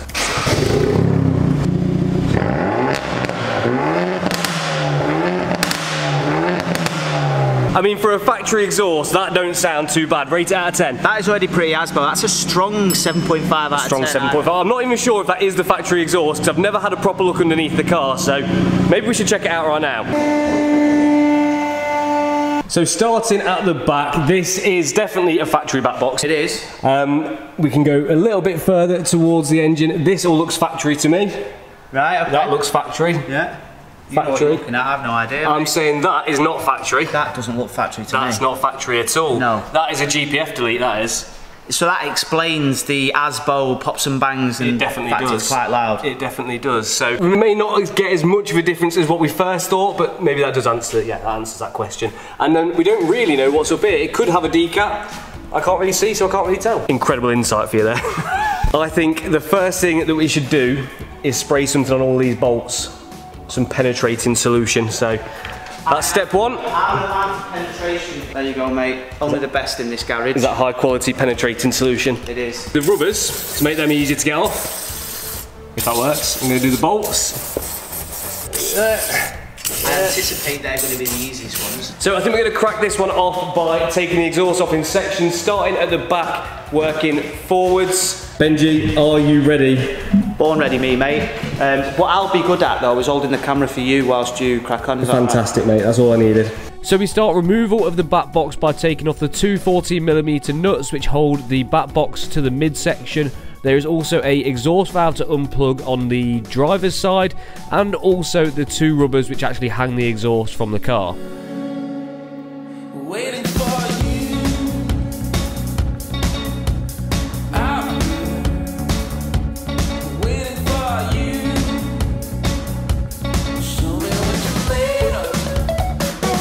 Then it was time for the midsection itself. Two 14mm nuts held that to the GPF delete which is at the front of the car and then again two rubbers and then we can get that off the car as well.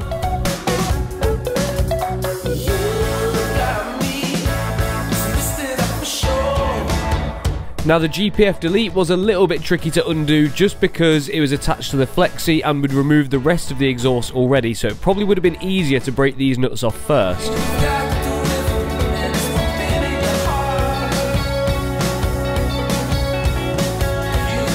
But with a bit of teamwork we got them cracked off and got that removed off the car as well. Now the next bit is a little bit tricky for you guys to see. So what we've got up here is the flexi section and to unbolt that from the downpipe there's two nuts which hold it on a similar flange up right by the engine. And to get to this, we had to use a whole collection of extensions on a ratchet to even get near them, so it wasn't the easiest thing to get to, definitely. But with Ben positioning the socket and me delivering the muscle power, we eventually got them cracked off and got the flexi section removed too. I've just done a cracking job. We already have our first casualty. I lowered the ramp down onto the cannon, it's the only one we got, so I can't believe that. Do you want one? Oh, I love it. Have Do you half know what? part, half Actually looks yeah. decent. It does, yeah. It's good pull. So in just less than an hour, we managed to get all of the parts of the exhaust off, apart from the downpipe, which is probably where things are going to get a little bit trickier. what do you reckon, Mill Mush? Well, there's not much room. Back There's there, not, is there, no. Let's be honest. Um, and looking from underneath.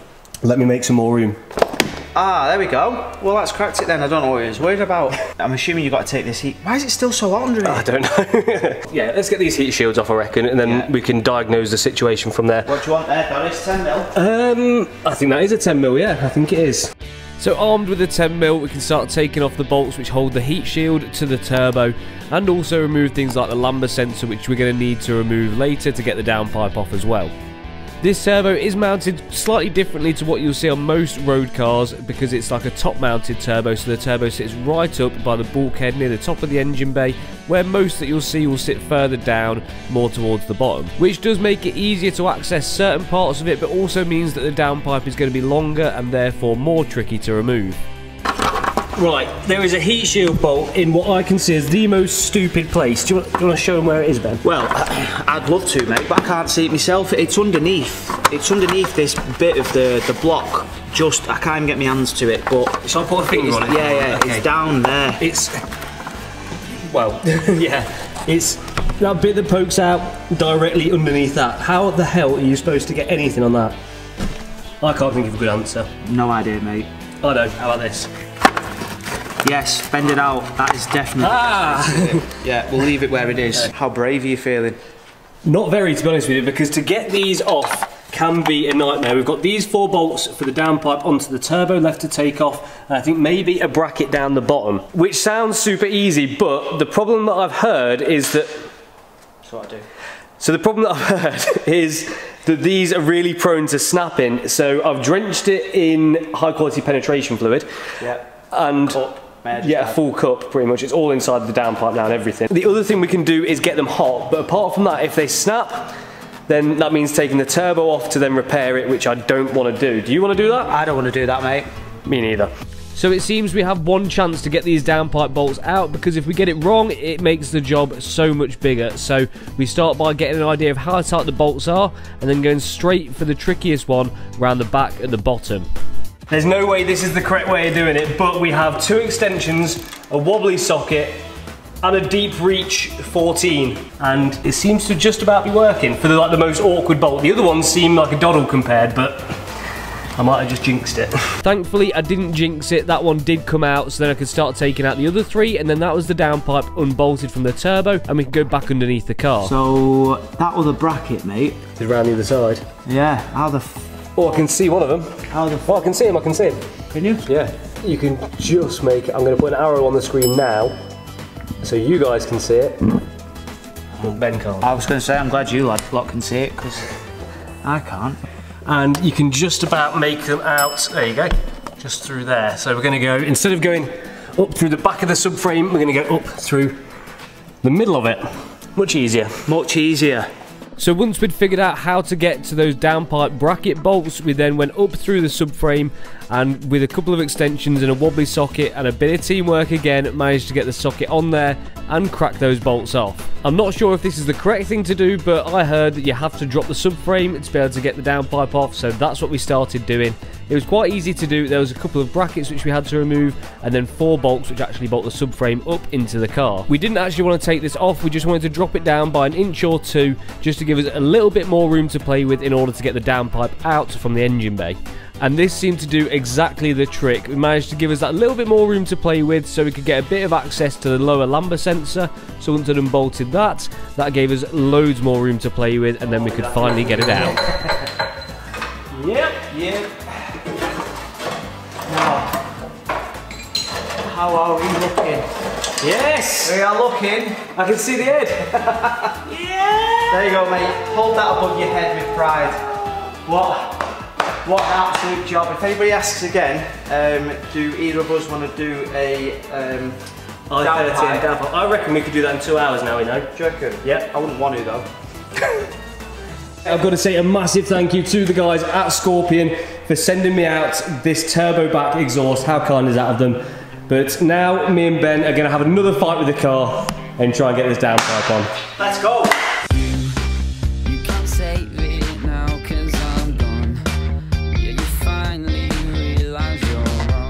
So this was the exact opposite of what we did in the first place. It's downpipe in first, we went up through the bottom. Again with a bit of wrestling, it wasn't the easiest thing to get into place, but we could get that bolted up up top. Own. You'll be sat there watching alone. And the things you claim that I like, you And once that was in, we could plug in the second lambda sensor, which we had tightened up when the downpipe was halfway up towards the top. And we can put in the pre-cat lambda as well. Got so much left to say, but I'll take my word. And then it was back underneath to tighten up those tricky downpipe bracket bolts too. Want me to pay, and your eyes they say. Once that was fastened in, we could then put in the flexi section, and Ben must have been feeling pretty accomplished. We'd like some sort of, um, of, you know, award. And that. You mean like a certificate? Uh, yeah. Maybe I can get one in the post to him in the future or something, but he's got that in place and sat on the rubbers and the studs, and then it was my turn to get in there with a couple of extensions and a wobbly socket and get it tightened up. After that, it was time for the OPF section, which in this Scorpion exhaust has got a resonator in there too. You can opt not to have the resonator, but as I've learned from my BMW, I don't want it too loud. Things you claim that I like, you can't. Oh, that was satisfying. Nice, weren't it? And from here, the exhaust really just fell into place. It was the midsection to go in, which is just held in with a clamp and a hanger, and then it was onto the back section, including the back box as well.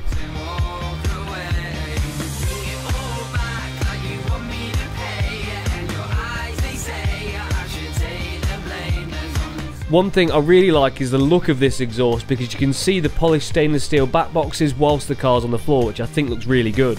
Once everything was in place, Ben just went around all of the clamps and tightened those up to make sure we weren't going to get any knocks or rattles. Now we have most of the exhaust on, including the back box. It is now time. Ben's favourite bit. What? Putting the tip in. These snazzy new massive tips, which definitely do pass the fist test, which should fit on there, something like that. So while the lads were fitting up the tip on one side, I transferred over the active exhaust valve from the original exhaust into the Scorpion one, which means we're going to be able to retain the active exhaust flap in this aftermarket exhaust, which is wicked. And Ben very kindly fit that up for us as the final piece of the exhaust, but we still had more work to do the next morning. So it is nearly 10 a.m. Chris is absolutely nowhere to be seen. So I've decided to crack on with this Hyundai myself. Put these back on. So these bits, I don't even know what they do, but they obviously bolt to the subframe and over here to the actual sill. So they're all bolted up. This bit of heat shield is bolted up too. So that's all done. Hey, Mush. Afternoon, princess. Where are you? I'm just in Starbucks. Good morning! Nice of you to- Morning. Morning. It's morning somewhere. Are you joking? Nice of you to join us, mate. Well, I thought I'd come and make your day a bit better and bring you. Ah, what a guy. Thank you very much. I nearly mate. got him to write bay on it for you, but we didn't quite. Thanks very much. Right, listen, whilst you've been giving it Zeds, um, I have lambda sensors in, um, heat shields are all on, bolted correctly, yeah, give them a touch. Bits underneath are done as well. You're phenomenal. Or what else are you putting on it? Ask me about what I've got. What have you got? Well, funny you should ask that. Come over here. a company called Race Chip have sent me some Go Faster bits. So this is a plug-in tuning box for the i30N. That's what we want. Hey, this looks alright. I know, yeah, it's the part, this. I'll be honest with you, I don't know because I haven't opened it yet. This is the first time I've opened it, so we're opening it together. So I'm guessing that plugs in somehow. Cable ah, there you ties. go. That's all you need. I know how to use those. We're going to figure this out in about four seconds and somehow turn my car from 270 brake Yeah? into 300. Ooh. Yes. I think I've got the gist of it anyway. And that goes into there and this plugs around In, in, in there, somewhere, yeah, and then we just make it look all neat. That's what I think. I might be wrong. Installing this was actually a little bit less complicated than it actually looks. Essentially, you just plug the loom in between three sensors on the engine and run those into the box and then took that box away somewhere nice and neat. So it's actually pretty easy. So we've got three main tuning settings on the performance box. We've got Eco, Sport and Race. Ben, which one are we going to pick? Race, obviously. Thank you very much. Race it is. So now we have changed the sound and the flow of the exhaust. We have increased the performance, but we have got a pretty janky intake at the moment. Even though this is Lamborghini certified, it needs upgrading. So we have had a package delivered from Forge. And in here... You want me to do the honours, Yeah, mate? please. I appreciate it. So this is a Forge Motorsports induction kit for the i30N. So we've got a much beefier intake pipe here. Ooh, That's, she's a beast. that is a nice cone. That, that pops onto the end of there, I'd guess so, yeah. and then we're good to go. All right, mate. Well, over to you. I thought you wanted to do this bit. I'm doing it. Brilliant. So once I'd removed the factory intake pipe, I could then replace this with the new Forge Motorsport one. This bolts into place under one of the clips for the engine cover and then slips on with the silicon joiner. Then all we had to do was reattach a few of the hoses which linked onto that intake pipe, tighten everything up and then fit up that absolutely mahoosive air filter. Now, I know some of these open air filter kits are a bit controversial and there is a little bit of debate to how much benefit they actually have, but one thing they do is give you lots of cool turbo noises, so you can't complain at that. Now, as we've seen earlier, I did actually have a resonator delete or an OPF delete pipe already fitted on the car. That's why it's a little bit louder.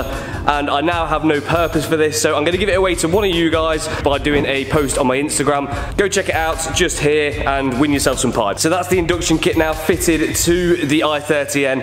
And I think that should really change the way the car drives and sounds as an overall package. But there is only one way to find out. So let's go for a drive. That's your key, but we'll pretend it's the i30 key. Let's see how it does. So Benji's in the passenger. You're in the driver's seat, actually, aren't you? I am. You are in the driver's seat because you're driving. So, I mean, I want to know what your thoughts are on the car. Well, I've not, I've not like, obviously I've not kicked its head in yet. But I have got to say, straight away, the steering feels nice, like really responsive. There's no play in the steering or anything. That's good. Quite like that. The Yeah. gearbox feels good. It's quite nice and tight. Similar to the uh, the Focuses actually. Okay. Um, the one thing I am conscious of is that we are on plastic tyres. No, no, no, we've got one Michelin, so we know we're good. Oh, which corner was that? Uh, one of them. So this one, this one, this one. So we're good if we're turning, say, right. yes, yeah, yeah, right Okay, corners. good. So roundabouts are banging. Right, brilliant. Okay, but yeah, otherwise, quite like this. Where's race? hey, it pulls nice, that doesn't it? Love that little, uh, the little blip, the little red matching thing. It gets going. Jesus Christ. You're giving me a bad name.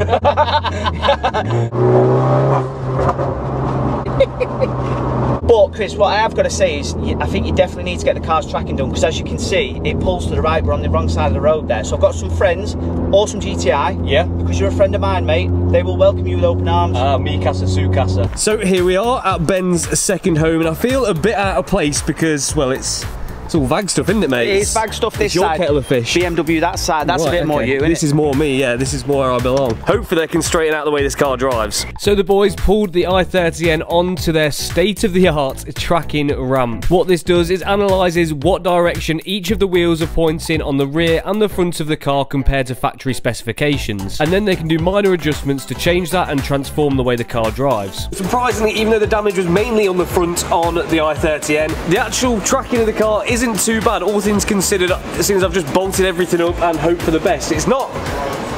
You're looking, hoping for green. Green is good, red is bad. There ain't too much red, so hopefully it should track up pretty nice. So after a small adjustment to the front and rear of the car, the car was all set up ready to go. Right, Chris from the future here. I just realised I completely forgot to do a before and after on the exhaust. So here is how it sounded before. And this is what it sounds like now, as best as I can mirror the environment.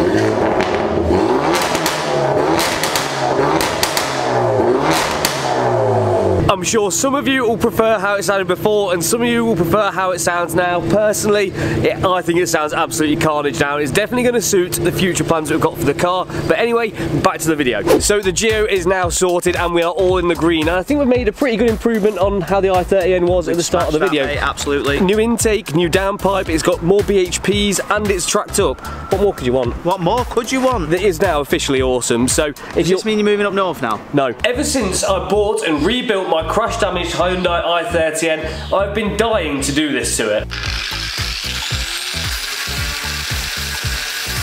And I know what you're thinking, I lost the plot. Well, there is a little story behind all of this. When I was bidding on this car, I made a bet with my friend because I didn't think it was going to do that well on YouTube, whereas he was sure it was going to be a hit. So the bet was that if the first video on this car did over 100,000 views, then I would have to buy and fit a wide body to the car. And it looks like I lost the bet. Now, thanks to you guys for supporting the channel and watching the first video on this car, I now have to go to Germany to pick up the body kit for it. So we are back at the Nürburgring, magically teleported from my garage, and we are sat here with Benji at the tail end of our trip, taking the BMW around the Nürburgring. And we now have to go and do a short drive, two hours north, to see a company which have built something especially for my i30N. And that two hour drive is now complete, and that brings us down to Prior Design. Prior are a German company which specialise in the design and manufacture of aftermarket body kits for a wide variety of cars. Now I've got to say that some of these kits are nicer than others, but the one that I'm here for is the i30N wide body kit which they did actually have one in the showroom, but I'm not going to show you that yet.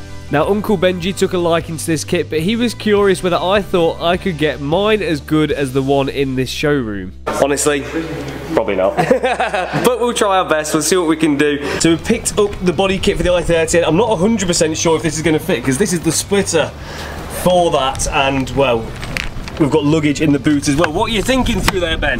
might about just get her in. You reckon? No? I'm in here. You're in? I'm in, yeah. We're in. That's in, yeah, that's the biggest bit. Happy days. Yeah, that's good. That's what do you reckon to the kit? Um, I mean, that doesn't look like £5,000 there, does it? No, it doesn't. But, uh, you know, hopefully it does when it's on the car, eh? Well, yeah, well, it might hopefully look something like one in there. So we very carefully loaded up the questionably packed body kit around the luggage which we already had in the car. Then all I had to do was pay my outstanding balance on the bill and then we can try and get the kit back onto home soil and get it onto my car. And now we've got the kit back home, we can take a proper look over what I've bought and see if I've wasted my money or not.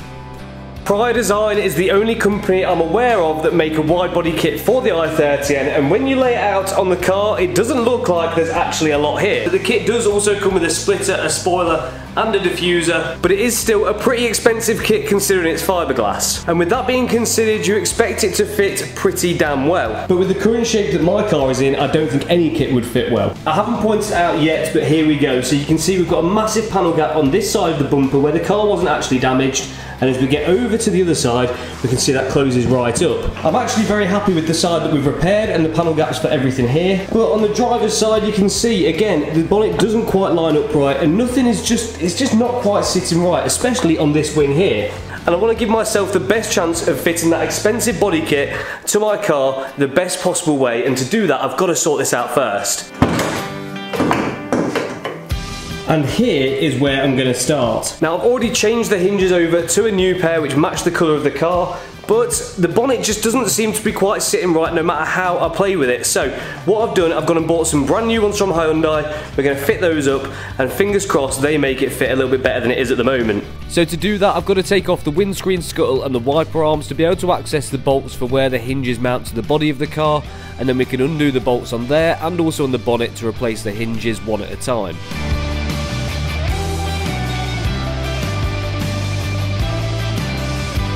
It's still not 100%, but it's definitely a lot better. I'm now going to start tackling the first corner for the wide arch, and that is going to be this passenger side front wing. I've taped up the wing so it gives me an easier place to draw a template. Next thing to do, get the wheel off and get the wheel arch liner out. It always surprises me how little these arch lines are held in with. It's just a few screws and a few clips and they just pop right out.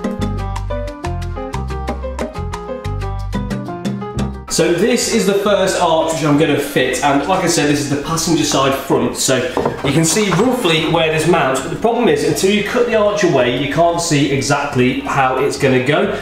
So what I'm going to start by doing is cutting to this line here, the outer one, the, the, the bigger one out of the two and that should hopefully then give me enough to at least gauge how much of the car I need to cut away. I'm going to take the bumper off before I do it and then yeah it should give me a basis to work from since this is the first corner I'm doing.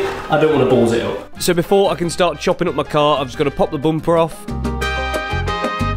Along with any other trims which are going to get in the way. And now there's no turning back, so using an angle grinder I can cut away the bit of the arch which I no longer need to make way for that wide body.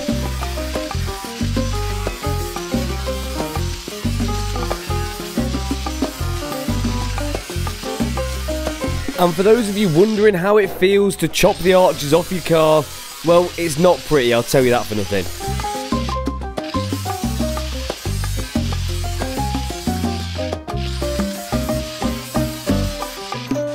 And by the way, if at this point you're watching this video and you're not subscribed, what are you playing at? Because look at the extent I'm going through to provide you with that finest quality entertainment. So go down there and whack on that subscribe button before this video's over. It's free. After I cut the arch for the first time, I realised I was a million miles off from where I needed to be, so I recut the arch more towards the outer edge of where it needed to be, and then this time round it fit much better.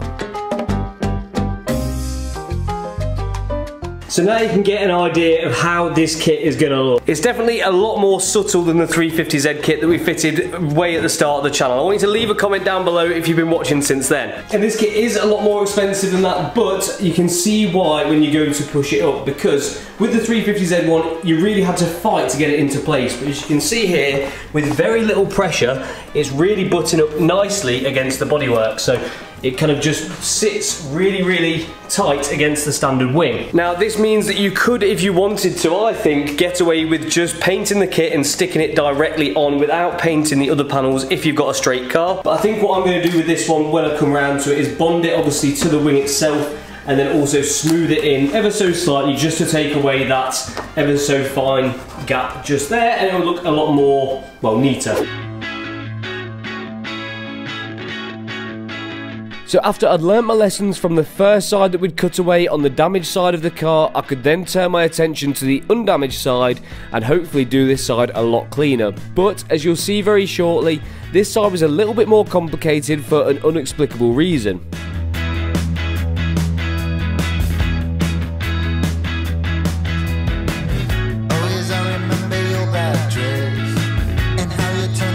Now one thing I wanted to do on both sides was make sure the cut was as nice as I could get it. I'm not the best with an angle grinder but I wanted to make sure it was as neat as possible so I just run around both of the cuts with this finger sander before hitting them with some etch primer just to protect the paintwork slightly. Right, it's the next morning and I've made a start on some of the next parts for the wide arch on the i30N. Mainly being getting some protective paints down on the wings where I've cut them so the bare metal doesn't start corroding. I am going to use something more after the primer to then protect it further and the next part I need to do is the bumper. So this is the piece here which fits on the bumper and it goes somewhere around around there I think, I think something like that. So what I need to do is cut away a section of the bumper itself but I need to retain the vent just here. So luckily this one has already kind of snapped out of the rivet but I'm going to drill that one out there and these two out here and then I can remo remove these vents cut away what I need to cut away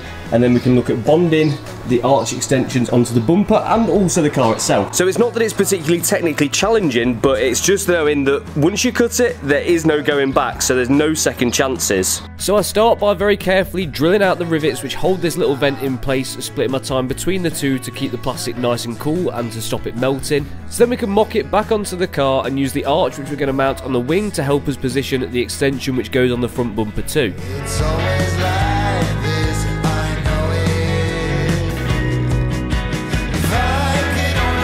And once that's in place, we can then put a line on where we need to cut and get it back off the car and start chopping.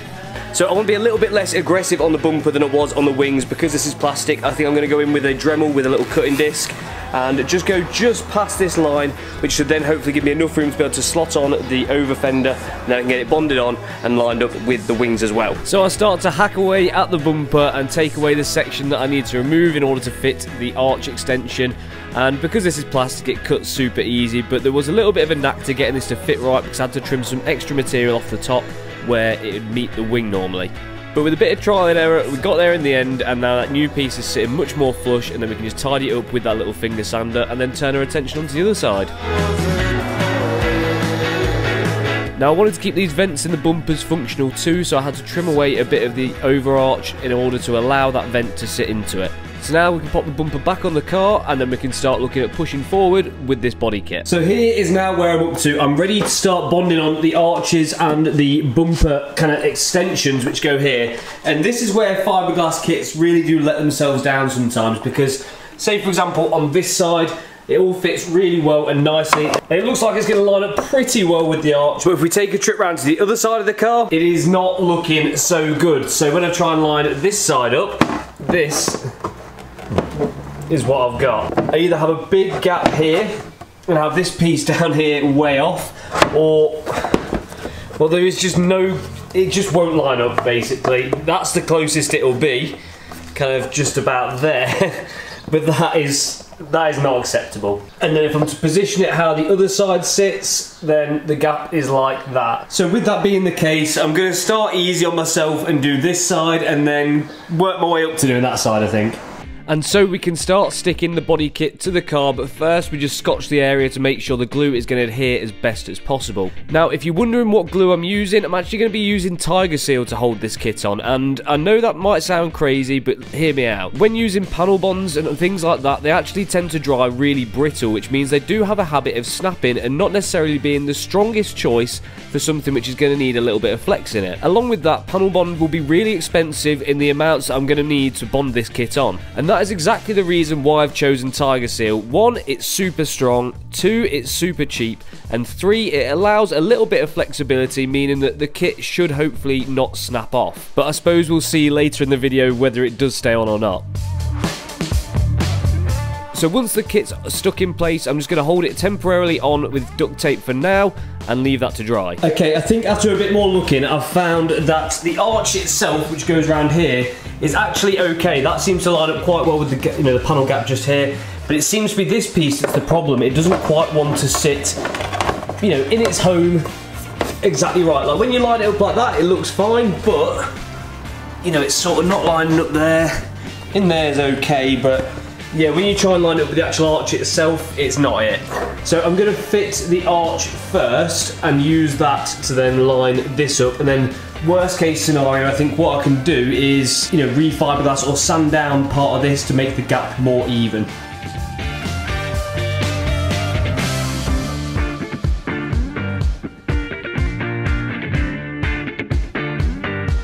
So we've now got the passenger side arch stuck and taped into place so we can now see what's going on with this front bumper piece and after this fit now I think I can see where the problem is. There's too much material at the top where the that extension meets the wing extension and that needs sanding down which I then did and it made it fit much much better. So now we can get that stuck on and then finish off any last bits we want to do to that at a later date. So I'm reasonably happy with the way that's looking. We'll see properly when we take the tape off. I can see there is an ever so slight lip just there facing, you know, this bit sticks out slightly more than this bit. But when it goes to paint, we can try and finesse that a little bit, just make it a little bit, you know, smoother. But apart from that, pretty happy with it. Just taking a bit of material off here really helped it out. Now, while this is drying, I'm going to have a look at the arch liners. Because one thing with a lot of wide body kits is you do tend to lose a decent arch liner or you have to chop it up or make something completely custom. But I'm hoping with this one, I don't have to. And that's because the inside of the arch is kind of tucked into where the old arch would be. So that means I'm hoping I can tuck the wheel arch liner back into place and then just use the fiberglass of the arch as the rest of the arch liner. I may have to do some kind of messing around with it just to get it to fit nice and maybe a little bit of trimming or a bit of heating, but nothing too mad compared to what you have to do on other body kits because this one's not too extreme. So it's now the next day and hopefully the glue is dry so we can pull this tape off and see how it looks.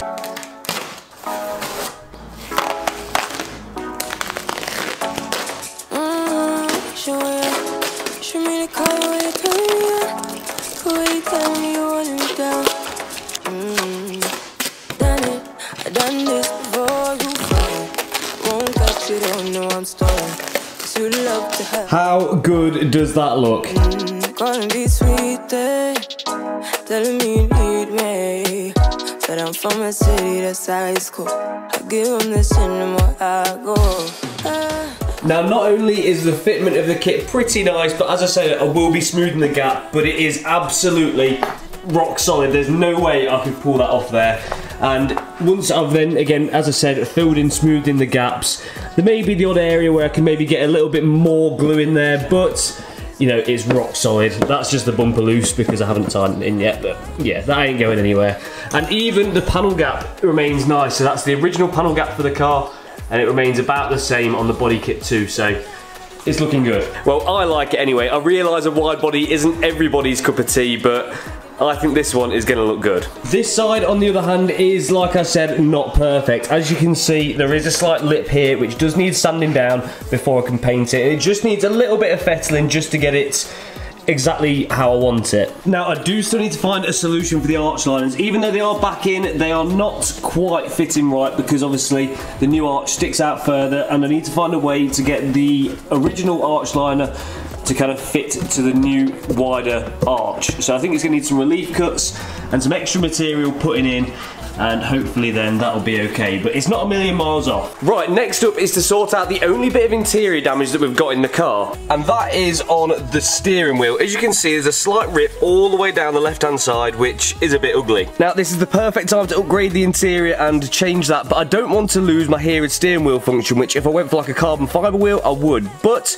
I've got a solution so I can keep the heated steering wheel and trim this a little bit nicer. And that comes from the guys at Wheel Finesse. So they have sent me out a whole load of goodies along with a new steering wheel cover for the i30N. Now colour wise I've gone for something which well, I didn't intend to originally. I've gone for a red stripe with white stitching, and you might be thinking I've lost my mind because the original stitching here is blue, but we can't match that colour. Throughout the car, there is red and white in other areas, so on the mats, on the brake calipers, and also on the wing as well for now. So like I've said before, sometimes a contrast is the best way to do it. Rather than getting a bad match, do something that's completely different, then it can't not match. Make sense? So this is a DIY kit, but very kindly, Tom from Wheel Finesse say hi, Tom, guys. has Hello. offered to come up and fit this to the car for me to make sure I don't get it wrong.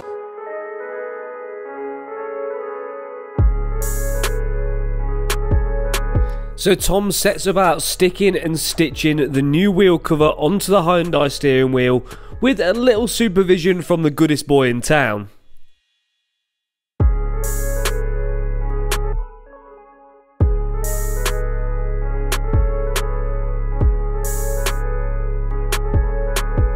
These steering wheel covers are a really good, quick, cheap alternative to getting a whole new wheel made because you can do it within a couple of hours without even taking your steering wheel off the car. And how much better does that look?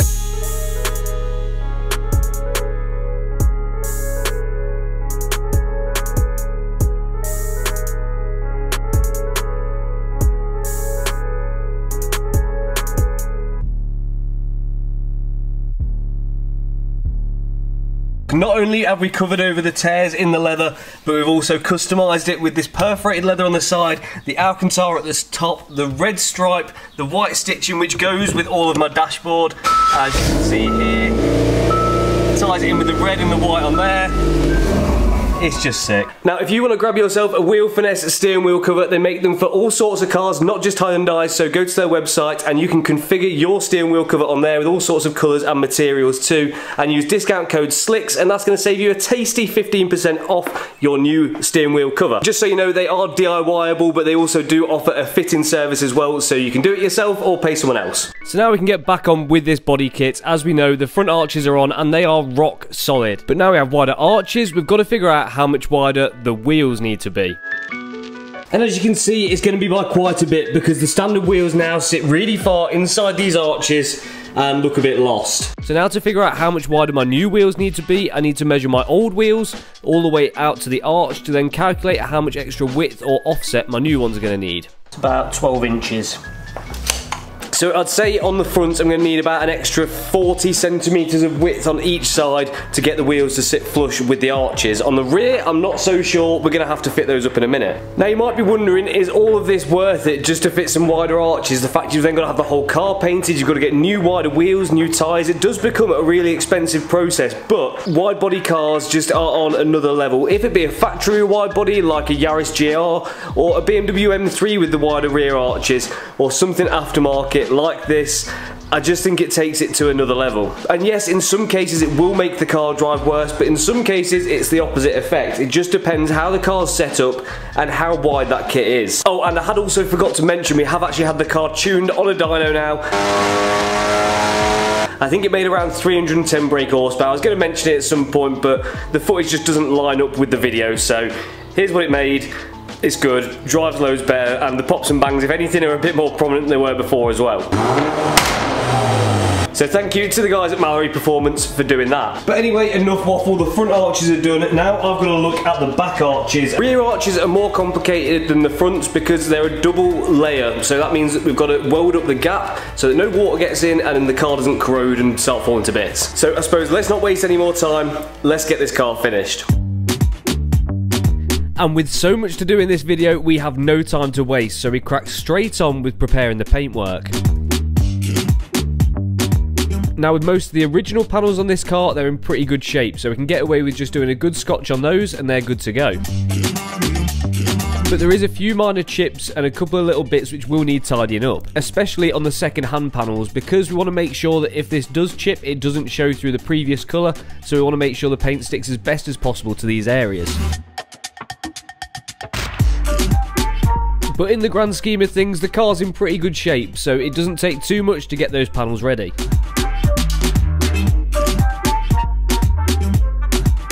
We do want to make sure that we pay special attention to the edges of panels because any poor prep work here will lead to paintwork peeling off the car, which is the last thing that we want. And in order to make preparing those edges easier, along with making masking easier, we remove any trims and any badges which are going to get in the way.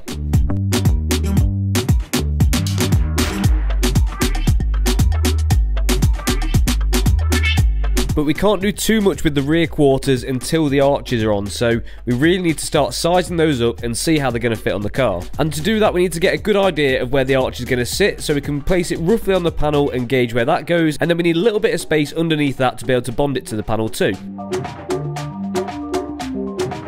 But as you'll see later in the video, this step is not as simple as we first thought.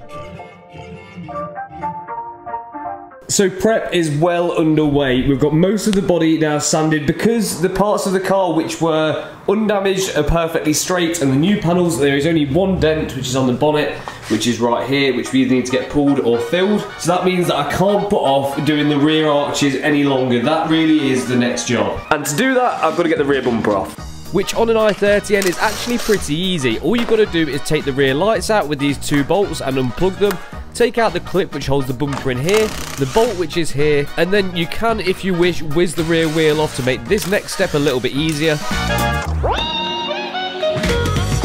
Which is going to help you access these four screws in the wheel arch liner. And then there is four bolts which bolt the crash bar to the car itself, which you've got to take off, and then the rear bumper should be free from the car. After those are out, all you've got to do is unclip the bumper, but you've got to be careful here not to break the clips. Wow.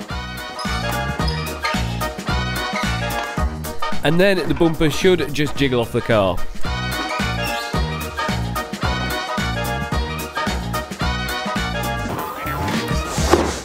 I'm not going to lie to you guys, I was going to do that really cockily and say that's how you take off an i30N bumper, but I made a bit of a hash of it. Not only did I manage to stab myself and get red sauce everywhere, but I also managed to break my new bumper as well, so now I've got to figure out how to repair that so that clip holds solid. So yeah, nice one, Chris. Sometimes I amaze myself. The front wings weren't so bad because even if I do mess them up, it's a replaceable panel, so I can just take it off and start again, worst case scenario. But with a rear quarter, it's a slightly different story. Because if you cut away too much, it's either then a case of bodging it and welding it back into place or replacing the full quarter. And that's why there's some jobs which I trust myself to do and then some that I don't, like this one. And that's exactly why I've assembled a small team to get the car looking at its best in this video. We've got Tom who specialises in fabrication and Callum who does bodywork and painting. So like I said, when cutting this outer layer, we've got to be super careful not to damage the inside layer, so we've got some material to work with afterwards to fill in the gap. So in order to fit these rear arches, we've got to establish exactly where we need them to go, and to do that, we've got to cut away the first layer, so we can get a rough idea of where the arch wants to go, and then we can start trimming it little bit by little bit. Now, because of the way that these arches fit, we need to slide them up into the rear quarter, so that means behind where we cut, we then need to make a lip which goes even higher than that to allow the new arch to fit into place. But once the first skin's cut, we can then start to see where the new arch is going to fit. But we did find something unexpected here.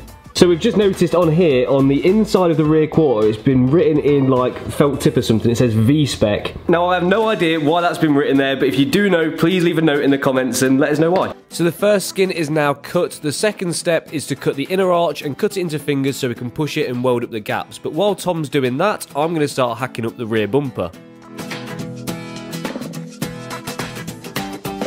There's two main reasons why we're doing it this way. One, it allows better fitment of the kit, and secondly, it allows more wheel travel. So if we ever do decide to lower the car more, then it's not going to be a problem.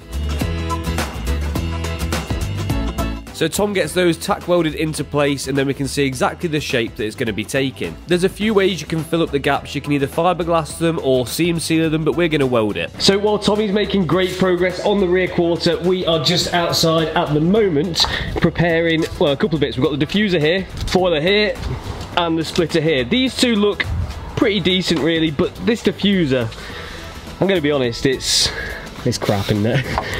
So it just looks like it was made in a completely different way, in a completely different location by completely different people because the standard of it in comparison is just awful. It's got lumps all over it, it's it looks like you'd expect a fiberglass kit to come that was much, much cheaper. So we're going to see what we can do with it, but I'm not 100% sure if it's going to make the car or not. We'll see how it is when it's painted. And I've also made the cuts for the extensions on the bumper as well, and I've also repaired this clip on the edge of the bumper by using a, you know, the plastic welding staples. So that is rock solid again now and good to go. So progress is looking good. At this point, Tom had finished welding up one of the sides so we can bond on the rear arch to the rear quarter. This is what's going to make that real wide look from the back.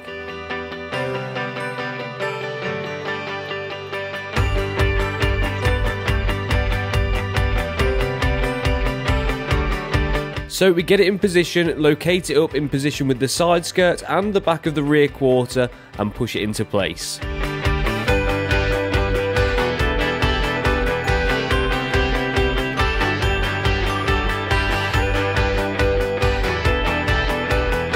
Again, like on the front, it looks like this side is fitting really, really well, even though this is where the damage on the rear quarter was, it almost lined up perfectly.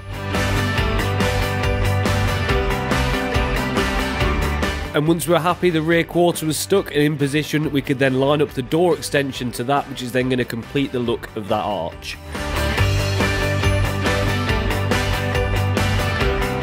Now we've got a lot of the prep done on the car, we can now look at sealing the gaps on the panels from the body kit which we've already bonded on. We just do this with the Tiger Seal again, smush it into the gap, you know, try and make a nice bead around it, push it in, and then we can wipe off the excess afterwards.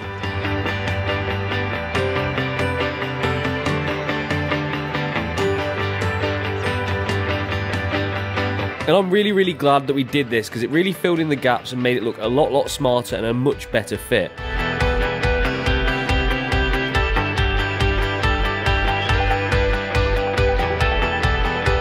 All we had to do was leave this overnight to dry and then we could come in the next morning and then peel off the tape from the rear arches and then start pushing forward with the project.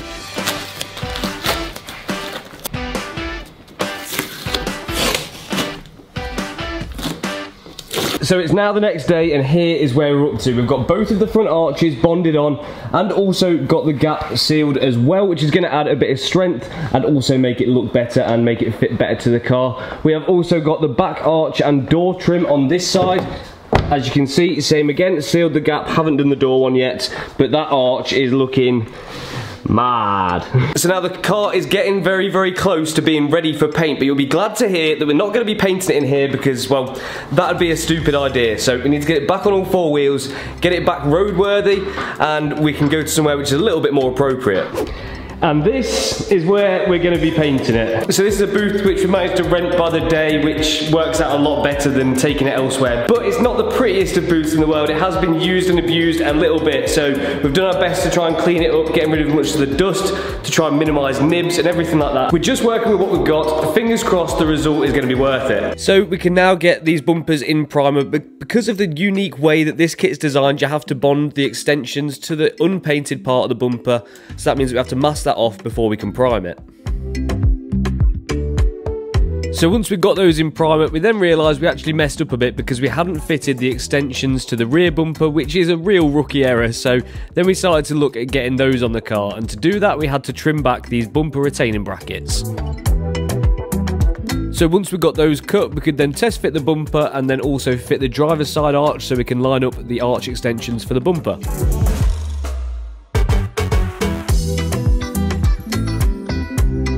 When that was fitted, we then had a fight for about two hours trying to get this bumper extension to line up nicely, and it really didn't want to go into place. This side of the car, it wasn't it. Once we'd found the closest thing to its happy spot, which lined up with the rear quarter, we then clamped that into place and then moved on to the passenger side, which took us the grand total of four minutes. While satisfied this side was a lot quicker as it was getting late, it really didn't add up. Wow. Makes sense of that. I don't know. Do you know what? I'm not angry though. Are you angry? I'm not angry. I'm Ready for bed? Yeah, I'm happy that that fits well. And then all we had to do was stick on the final pieces, so that's the door trim and also the final bumper trim.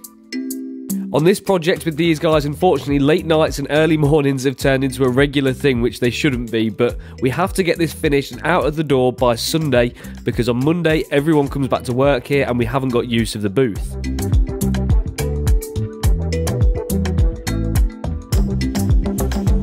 What a night this has been. We've had such a fight trying to get the driver's side to line up on every single step of the way. It's been a nightmare. Every single piece has not quite fit right apart from just that little tiny door extension. But on the passenger side, what we spent doing for three hours on one side took us five minutes on the other. It just doesn't make sense. Next day and we are back again and we are grafting away on the i30N right now. We're finessing the kit on the driver's side just to try and make it fit that little bit better because we've only got one shot to fit it. And now we're going to start looking at the underside of the bonnet, get that painted, we can get that fitted back to the car and then the outside of it can be painted with the rest of the car. I've also sealed up the gap on the inside of the arch so that should help it not only hold stronger but also be more watertight and therefore last longer. And we've also added a bit of material here on this edge and also on this edge of the bumper just here. And that should just help close that gap up a tiny bit and hopefully make the kit fit 1010 ish. But that's just kind of how it is with these fiberglass kits. They're never perfect. They always need a bit of work. It doesn't matter how expensive it is. It's just how they are. But they absolutely nailed one side, so it is a bit of a shame they couldn't get it right on the other. And before anyone says it's because the car's crashed, well, this is the crash side, and this is the one that fits perfectly. So the first thing to do today is take off the bonnet so we can paint the underside of that. But first we've just got to scotch it and etch prime the hinges.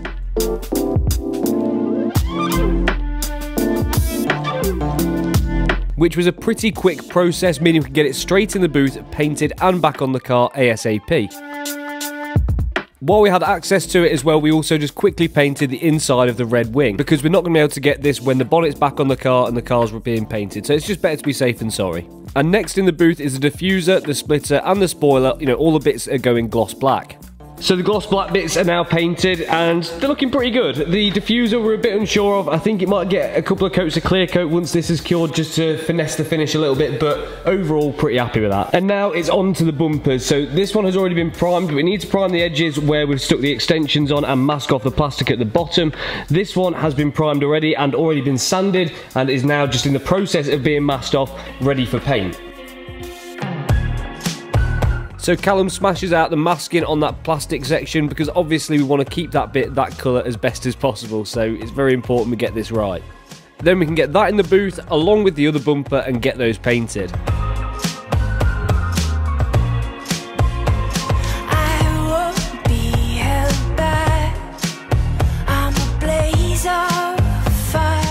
And the bumpers are now in the booth. So we've got to get these painted and get these out so we can get the car in and get that painted tonight or in the morning. By that I mean early hours in the morning because we've got to be out of here Sunday night. Otherwise, well, I'm leaving with an incomplete car. So in order to make the most of our time, while Callum is putting the blue paint on the prime bumpers, me and Tom tackle the finishing prep parts on the body of the car. So that means giving it a blow off and getting it as clean as possible because the last thing we want is for dirt to contaminate the paint and cause us problems whilst painting the car.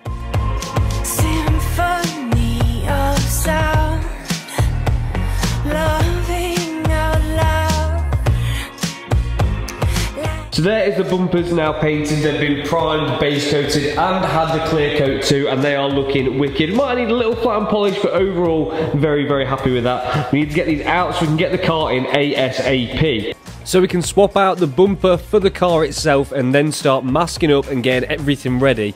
We also wanted to make sure that we got well into the wheel arches so we also put the car on axle stands to make sure we have enough access under there too.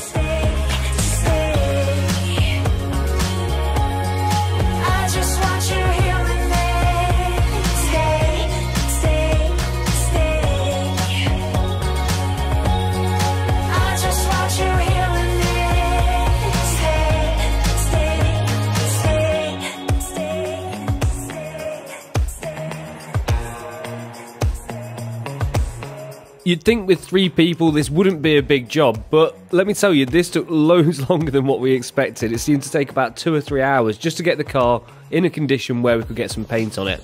And as you can see by this point, it's well past midnight and I am well and truly flagging, as both the other two lads were as well, but now the car is fully masked off and ready for some paint.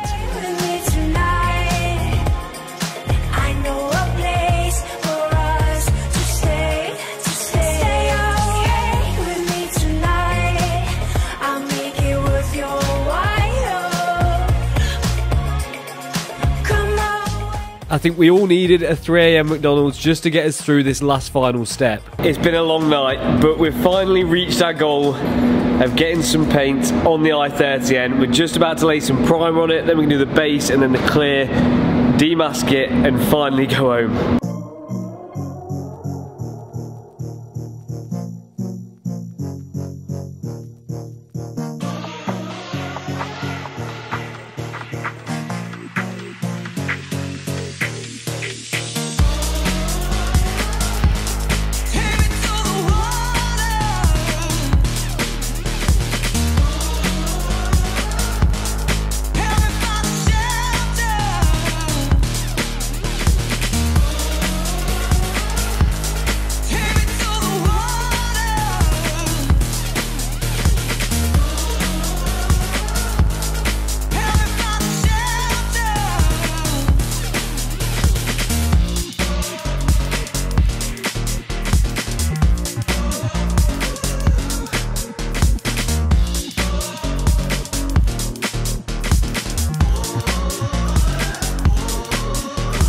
Okay, so the car is now painted.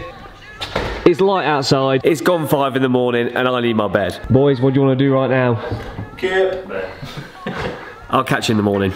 And it is now the next day, and we may have woken up quite a few hours late, but we have now got the car unmasked and out of the booth. And how good does that look? Yes, it still needs flattening and polishing, I know, but it's so good to finally see the car in one complete colour. And the car is looking top notch, but we have zero time to waste because I've got to be out of here today for everyone to continue their normal lives tomorrow morning. So we've got to get the bumpers back together, we've got to get them on the car, we've got to get the arch liners in, we've got to get get the whole car finished off basically. Let's get on with it. So me and Tom start by reassembling the front bumper, but he agrees with me on this actually. This car is a real doddle to work on, and it probably only took us five minutes to get this bumper back in one piece, and then we could start on the rear bumper. I know I've said bumper a few times there.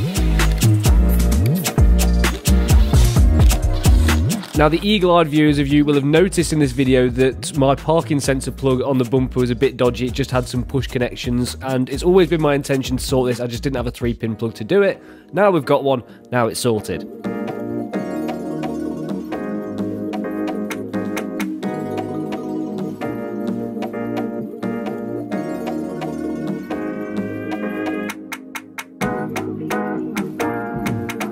So that's the rear bumper now back in one piece, but the final thing it needs is the crash bar clipping into place. I find it so strange how this crash bar is part of the bumper, not part of the car, but Anyway, it is what it is. Next job, which is getting the door handles in, so it's just the clips around the edge and then putting the door handle in, one bolt and done. Then it's back in with the rear lights, which you can access from inside of the boot, and then on with the wing mirrors. These are just three bolts and an electrical connector. It could not be any easier.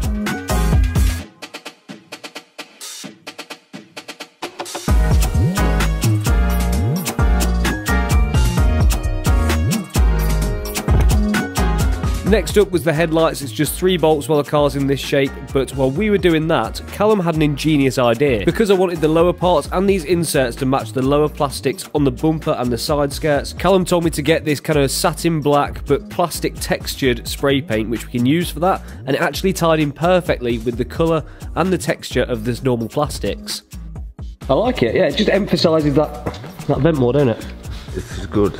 So that means that the rear bumper is now done and can go back on the car. So now that paint's dry, we fit up the rear bumper, which like I said earlier, again is super easy. And you can really see now how the car's going to look from the back and how wide it's going to look on the road too.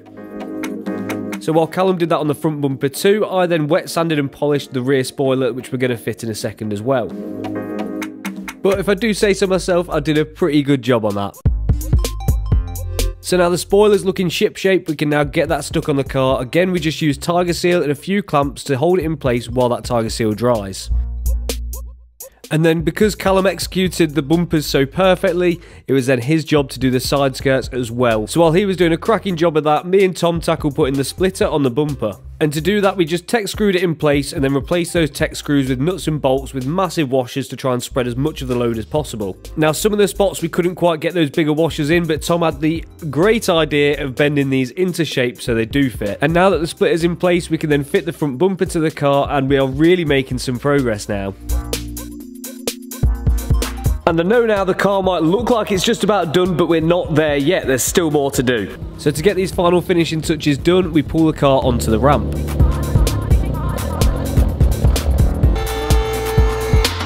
So now to fit the final piece of the kit, the diffuser. Now we weren't sure whether this is going to make the car or not, but after a fair bit of sanding, I think we've got it acceptable. Considering how low down it is on the car, I think that is going to look absolutely fine. So that slots on over the top of it goes a bit higher than that, doesn't it, mate?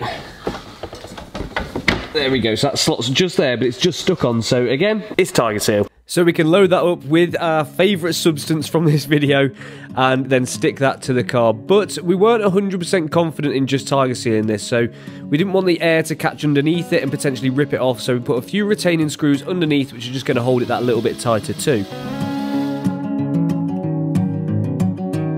So after I got those in, the diffuser was on pretty tight, I can't lie, but I have got some ideas of what I want to do to this diffuser in the future to help it time better with the rest of the car, but we'll come back to that in another video. And the diffuser is now on, but we have three jobs left to do. The first one is installing retaining plates. Because we've removed some of the fixing points for the bumper, I want to add something in that's just going to hold everything in the right place and make all the panel gaps much nicer. And the way we're going to do that is really simple. On this gap here, it's a double skin, so we can easily install a plate which goes from here to here with some screws in between, which is going to hold everything in shape. After that, we've got to finish modifying the arch lines to get those to fit, and then it's the new wheels, get it on the floor, and see the final finished result.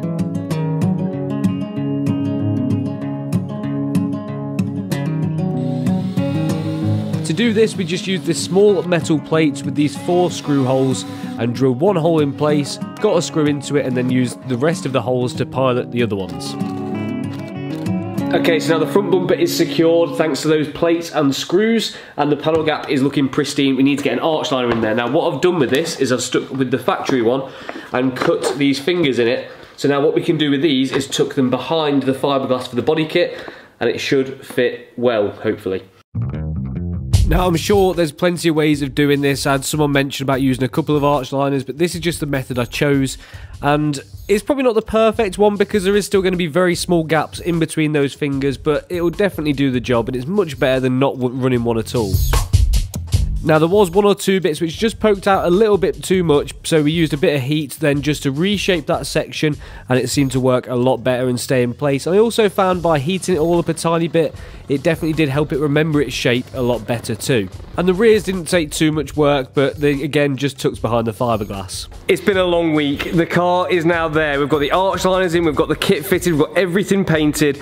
It's not been easy. But there is now one crucial piece missing, which is going to transform this car, and it's the wheels. This is going to be the thing that makes or breaks this body kit. Let's see what you think.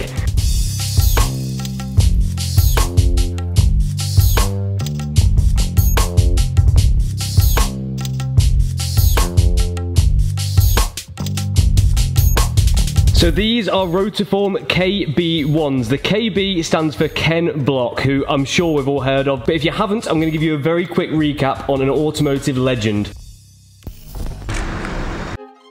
Ken Block was originally the founder of DC Shoes, which is a skating footwear company. Once selling his shares in that, he then focused his attention into Hoonigan Industries. And this is where probably most of us know him from. He has been making legendary videos, performing stunts that are beyond belief for years now. And this Gymkhana series, over its 10 episodes, has collected over a billion views.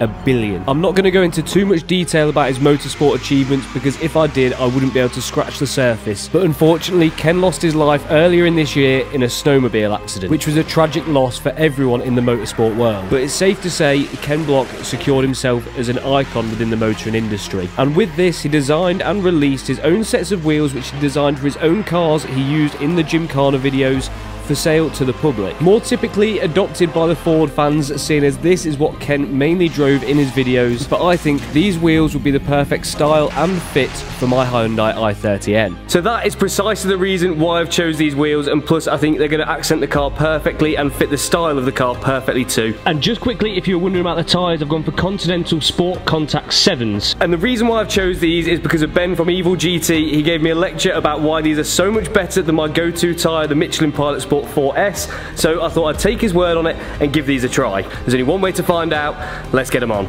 So we carefully fitted up the wheels, tyres, spigot rings and new nuts that I got from Wheelmania. And we can finally take a step back and look at what all of this work has achieved.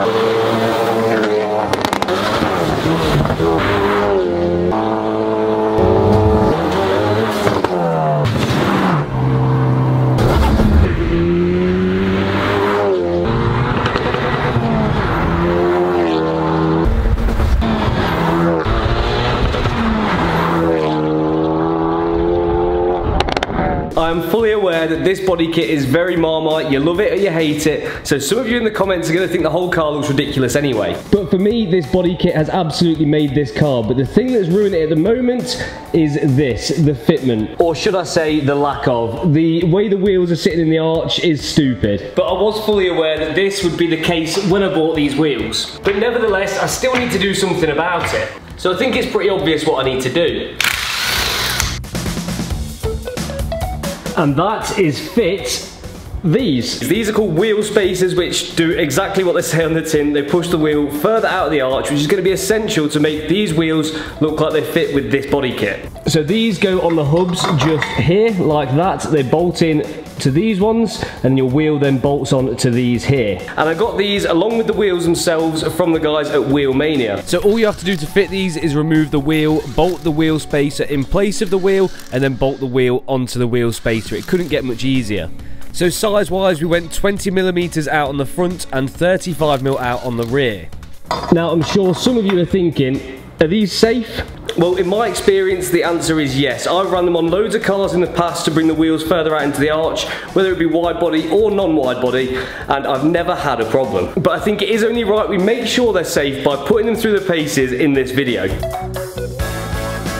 So we can get the Rotiform KB1s bolted back up to the car and see how much better they're going to be fitting with those wheel spacers in place. Spacers now fitted and how much better is the fitment looking now on the front and on the back. Maybe I could have gone out a tiny little bit more on the back, but I'm pretty happy with it. I am toying with the idea of not actually lowering it because, well, the kind of theme and look of this car I feel just screams rally car and then absolutely decking it is not going to give that same vibe.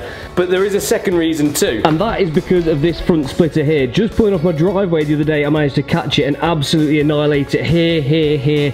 It's got kind of stress fractures all through it as well now so that needs repairing and if I lower the car it's just going to make that worse. But nothing's set in stone on that front so you know things could change. And because that splitter was born to never survive I've had to remove it from the car so this is the look we're going to go with for now. It's rally car vibes, so I don't mind it. So now it's time to see if this Hyundai can really stand up to British roads and everything that's going to throw at them, especially now we've fitted these wheel spacers and the wide body kit, because I'm sure some of you are going to have questions as to whether they're going to be durable or not. And there is only one man which is up for the job of that, but unfortunately, Whistling Diesel's busy, so we're stuck with Mark and his, and his kebab. Ah! So this is Mark McCann, petrol head, family man, entrepreneur, and just generally an all-round nice guy. And if you ask me, he deserves the award for best smile on YouTube. But I can't go without saying this guy is completely nuts.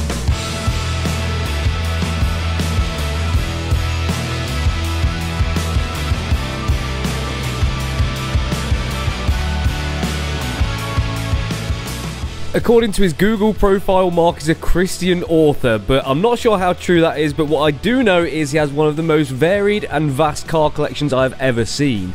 Right, I'm currently sat in one of Mark's cars, an Audi A6, and in return for him reviewing my car, I'm going to do him a little favour by fixing a few little things which annoy him on his. And to do that, I'm going to be using OBDeleven, which couldn't be much easier to use. All you got to do, get it out of the box, then plug it into the OBD port, turn on the ignition, and then fire up the OBDeleven app. And then once OBDeleven's detected what sort of car it is, we can then look at what we can do to it. The first thing we can do is a diagnostic report, so let's do that quickly. So there's 25 different modules to scan. Let's see how many faults we get. So here we go, a total of seven faults found on Mark's car. That's not great. So two faults on the engine, one's for the MAF sensor and one for the cam sensor. There's one for the AC clutch, one for a headlight bulb, two codes showing for the fuel filler flap, and one for the parcel shelf. Now I'm going to do Mark a solid and clear all of these codes for him. Some mechanics would charge over £100 for what I've just done there. Now using OBDeleven, you can also turn on hidden features on your car that the dealership didn't want you to have. You can make it so your rear lights go on all the time as a DRL, and you can also set it so the start stop is automatically off when you get in the car. And also a really popular one on these is the needle sweep. So when you start the car, the rev counter and the speedo go all the way to the top and back to the bottom. So in short, there's loads that you can do with OBDeleven to your VAG Group car or BMW from E-Series to I-Series, from diagnostics to coding as well. So to cheat your main dealer and also your mechanic which is charging you too much for diagnostics,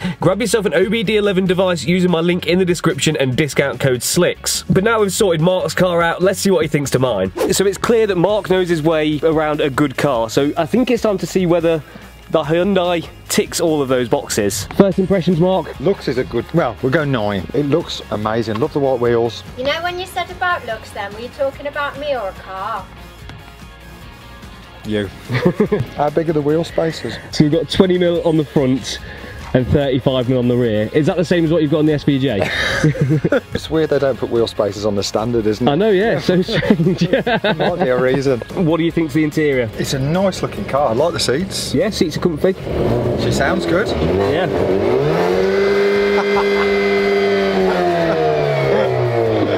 She's warm. Yeah, she is now. it wasn't before, but now it is. Yeah, I've got 10 minutes until I've got to run off. So if you take out on a road test, go down a country lane, maybe go through a puddle, and I want to know your opinion of the car. It's got to be an extreme test. Extreme puddle. Yeah, it's an extreme puddle. Extreme B road. Please, yeah, just definitely, please, for me, don't go up the track. You definitely said take it up the track. Don't go up the track. What's the point of bringing it up here if we don't go up the track? I said not the track! She's quite low, isn't she? This isn't going to last long. The test. Adult mode. Right, let's go. I can't believe this, I can hear him already. He's a lunatic. Mark! Mark! Give me my car back! This is amazing. Give me it back now.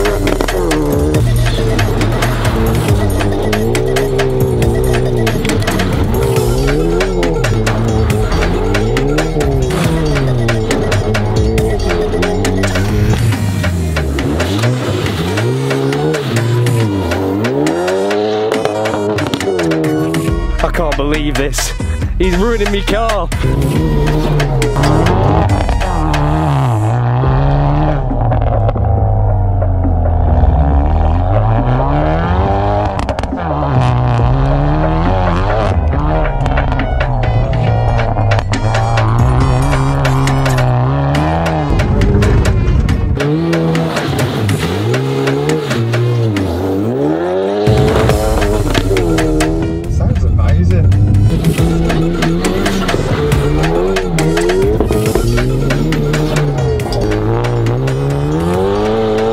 Got to admit this does actually look like quite a lot of fun. I want in.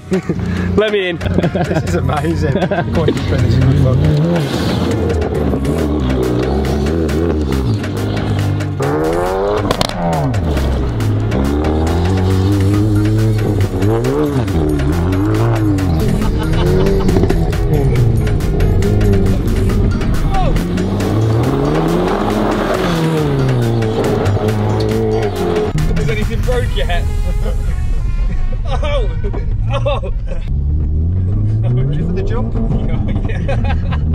That is one thing I wish Mark never said because really we were here to durability to test those wheel spaces and the only way to do it is on his jump. Please don't break my car. That's the trouble in Mark. I can do the bumper. It's when it comes down to land. isn't Yeah, it? it's if it nosedives, isn't it? Yeah. What else have you jumped here? The Yaris Mini. Did they all survive? Yeah, yeah. Let's do it then. We're doing it? Let's do it. Ready? No. Whoa! Whoa! I think the bumper's still on. Yay! Let's check the damage. Oh my god. I think we're right till then. What have we done? that was just so need- good. We just needed more speed. Did it get- even get air? Yeah, it definitely jumped. Okay. We definitely had four wheels off the ground. How bad is it? Is it alive? like a front diffuser again. Oh, shit. Oh, let's see how much damage we've done. Okay, maybe it wasn't quite as epic as Mark's jump, but air is air, and that is officially a jump in the i30N. Oh, that ain't too bad. That should clip back in. It's dirty, Maybe. I thought. Oh no. That took back in? Have you got a jet wash? No. Oh. we just need more speed. Ah. Right, straight on the raffle side. 99 pence a ticket. Oh, it's got it there. Yeah, it's dug in there. That's still a fair jump. All right, Click back in. Um, well, I think it might, but I think it needs replacing. You're going to get another three episodes out of this now. You're saying like it's my fault. it definitely looks better dirty. you could wrap this now, PPF it on top. I could. I think that'd look good. But one thing I do want to know is does it have its rally pedigree? It's Brilliant. it's absolutely brilliant. If it was rear wheel drive, that would be immense. That'd be one way to make it better. Hyundai, listen, make a rear wheel drive version and you'd buy it. Or four wheel drive, but not Yeah, front yeah. wheel drive. That's the only thing I think that lets it down. But we still had a good time. It sounds amazing, it looks amazing, you're amazing. So are you. Well, thank you for bringing it here. Mark, love you. Thank you. I need to go fix my car now, thanks.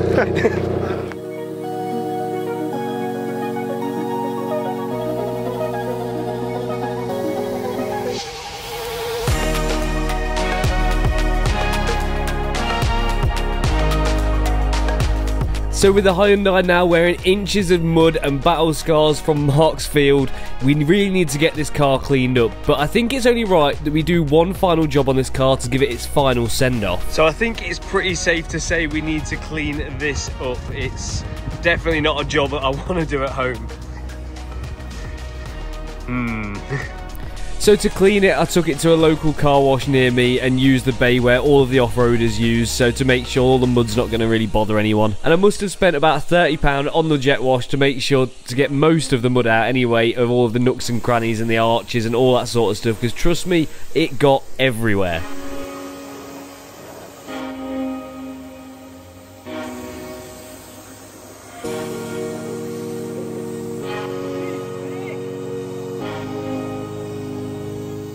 But was it worth it taking it to Mark's house and putting the car through all of this just to have a bit of fun? The answer is absolutely yes. It's going to be one of those things I remember for a lifetime. So now I've got most of the mud jet washed out of the car and all the underbody. There was a lot, I promise you, and it's not been a quick job. But I've come down to Ultimate Customs where we have finished off the final clean. And now we can start look at the next step because there's one thing which all rally cars need. And no, I'm not talking about mud flaps. We're going to be putting a livery on this car, kind of a race-inspired decal set to really set off the look of the i30N, the wide body, and also to make this car look a little bit more mental. Now, I realise this car is no rally car. I get that. It is a bit of fun, but I want to do something which is going to set it off, make it look a little bit more wild, because that's one thing which, even though I love the style of this kit, I think it could look a little bit more crazy and stand out a bit more. So the question is, what do we do? Well, I have no experience in designing a livery or anything like that, so I gave the job to my mate Matt Jones, who set about doing something to tie up this whole project. And I don't think it was an easy job particularly for him either, because what I had to do was quite complicated. Putting a 2D drawing onto a 3D object is never going to be easy. But once he was happy with it, we got it on the computer with the guys at Ultimate Customs in Warrington, and then set about how we were going to actually put this on the car.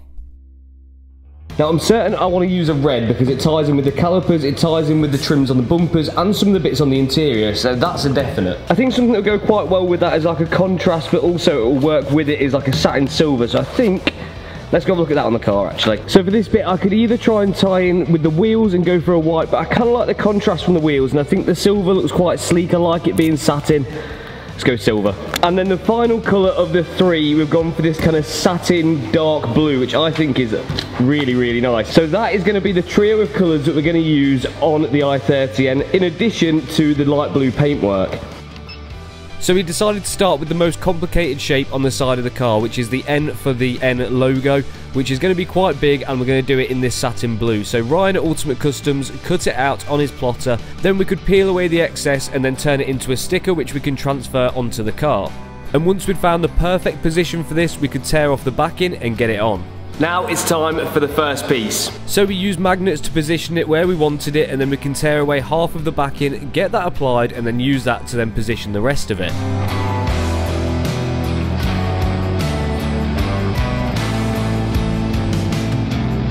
Now that's on, we can peel away the paper and reveal the final product. All that's left to do is post-heat the edges and get them all stuck down, and then it's on to the next bit. And I really wanted to have a go at this. As we've seen before on the channel, I've wrapped a couple of cars myself, but this was done to a much higher standard and I really felt the pressure doing it, but I wanted to get at least one bit done on my own. And I was definitely feeling a bit rusty doing this because I haven't wrapped a car since my Audi TT at the start of the year. But with a bit of guidance from Ryan, I got this on and got it all levelled up nicely, and then we can move on to the next stripe, which was the silver one. But even though it's in the early stages, we had a familiar face pop by to give an opinion or two. Hey, it's looking well, isn't it? It's like Colgate, isn't it? Yeah. Colgate stripes. Is he actually helping you, or is he... Um, Put that red stripe on. Oh, brilliant. Okay, the easiest bit, literally. Haters gonna hate, man. What did you do? Cool. What do you reckon? That looks good, that, mate. That's a bit of me. However... I feel like you're lying, but go these- for it. No. Okay. Are these just going to stick up like that? I'm assuming they're going to wrap around the car properly.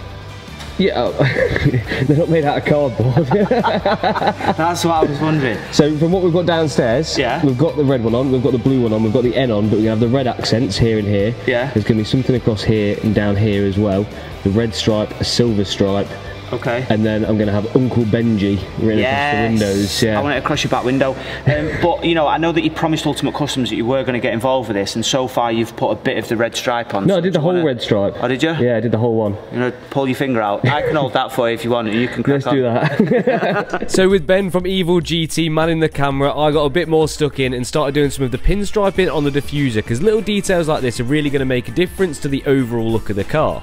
And another one was the centre slat on the front grille too. And while I was doing these easy little bits, Ryan was tackling the much more difficult silver stripe. This was one of the most complicated ones because it went over like three different surfaces at different angles. The most challenging part of this, like I already said, is making a 2D drawing essentially on a 3D object look correct because you couldn't just use one straight piece of vinyl on this because it would throw all of the angles out. Oh, no, And now it's back to me. I'm freestyling a little bit on the boot because we hadn't really got much design for the back, but we wanted something on there. So I went for the tricolour stripes, which we've used already, just in a smaller form across one side of the back lights. Okay, so we're on to the passenger side, but this has had its complications because on this side, this is the side which was originally designed. You can see which way the letter N faces and how that works with the stripes and the logo. So we've had to do a bit of tweaking to make it work on the other side. Because if we just directly mirrored it, then the N would be back to front and it just looked really, really strange. So we've had to shift the N around, but keep the stripes in the same place. I think it's still going to look all right. So while Ryan got this side laid down like an absolute pro, I finished off on the boot lid with that blue stripe. To make sure the gaps in between each of the stripes are completely uniform, we use different size tapes to make sure that the gap is consistent all the way down. They got love for me, but best believe I'm touring Belize just for me. And then again, I started doing some freestyling bits on the front end because the original design only had two small little red stripes on the bonnet, and I wasn't 100% loving that, but I wasn't 100% happy with this either. The look I thought what I did gave it made it look like a wedding car, which was definitely not what I was after. So we can revisit that in a second once we've put the finishing details on the sides. There wasn't many, just a few little red accents to set off the look of the body kit. Okay, so we are making some progress and we've got most of the car finished, but there's one bit that we want to revisit. And that is the bonnet. We're both agreeing that it doesn't quite look right with the rest of the car. It's it just doesn't suit it. Something's not right and we need to do something, but we're not 100% sure what yet. So we're going to start by wrapping the front section of this bumper blue and then going from there and trying to work towards something which ties in better with the back end. And this was the bit that I found the most challenging because it was so hard to decide what's actually going to look good on the front of the car. Now, I've seen on a lot of the race cars and the ring taxis that they had something over this front section here. I'd presume partially because it protects the paint, but it definitely does give something to the front end of the car as well. And then we pulled out the whiteboard pens and started drawing up a few different ideas to try and gauge what was going to work on the front end of the Hyundai. Right, we're just arguing about what the best solution is going to be for this, and I think we've found what we're going to give a go, and hopefully this time it's going to work. So we've got two blue stripes going here and here, solid thick ones in straight lines rather than curved ones like this, and then using red accents up it, similar to what we've done here to accent it, tie it in with the rest of the car a little bit better and still hopefully bring enough colour and enough going on to the front end and probably also put a logo in. I'm undecided whether we're going to remove these or not because once those are on they might look okay but if they don't then they can come off. And then, is there anything else? No? There'll probably be something else, you're right. So that's the plan at the moment. My idea, I'll just show you quickly, was going up kind of in this centre shape area here with shapes like this, like that, and then that sort of growing bigger the higher up the bonnet it got, but uh, you reckon it looked like a Wi-Fi logo, so that shut that one down. So let's give this a go. I'm really hoping this time it works. It's starting to get late. So here we go, applying the version 2 of the front end. Now, I don't want to hear it if you think I should have done this or that in the comments section. What I'm actually going to do, because I know loads of people are going to have an opinion on this, is leave a blank version of the front end of this car in a download on the description. And if you've got a better idea, I want you to draw it on there. And if I do end up doing it, I'm going to send you 200 quid. But before we finish up at Ultimate Customs, I've got to say a massive thank you to Ryan. If you do need anything like this or any wrapping work or PPF, he's based in Warrington. If you're interested in getting in touch with him, I'm going to leave all his details in the description. But then we just had the final finishing touches to do. We were going to put the N logo on the bonnet and also some red accents on the blue stripes. But again, this wasn't plain sailing. We decided we went too far with all the red accents and decided to minimise that before finishing off the bonnet by putting some colour inside that N logo.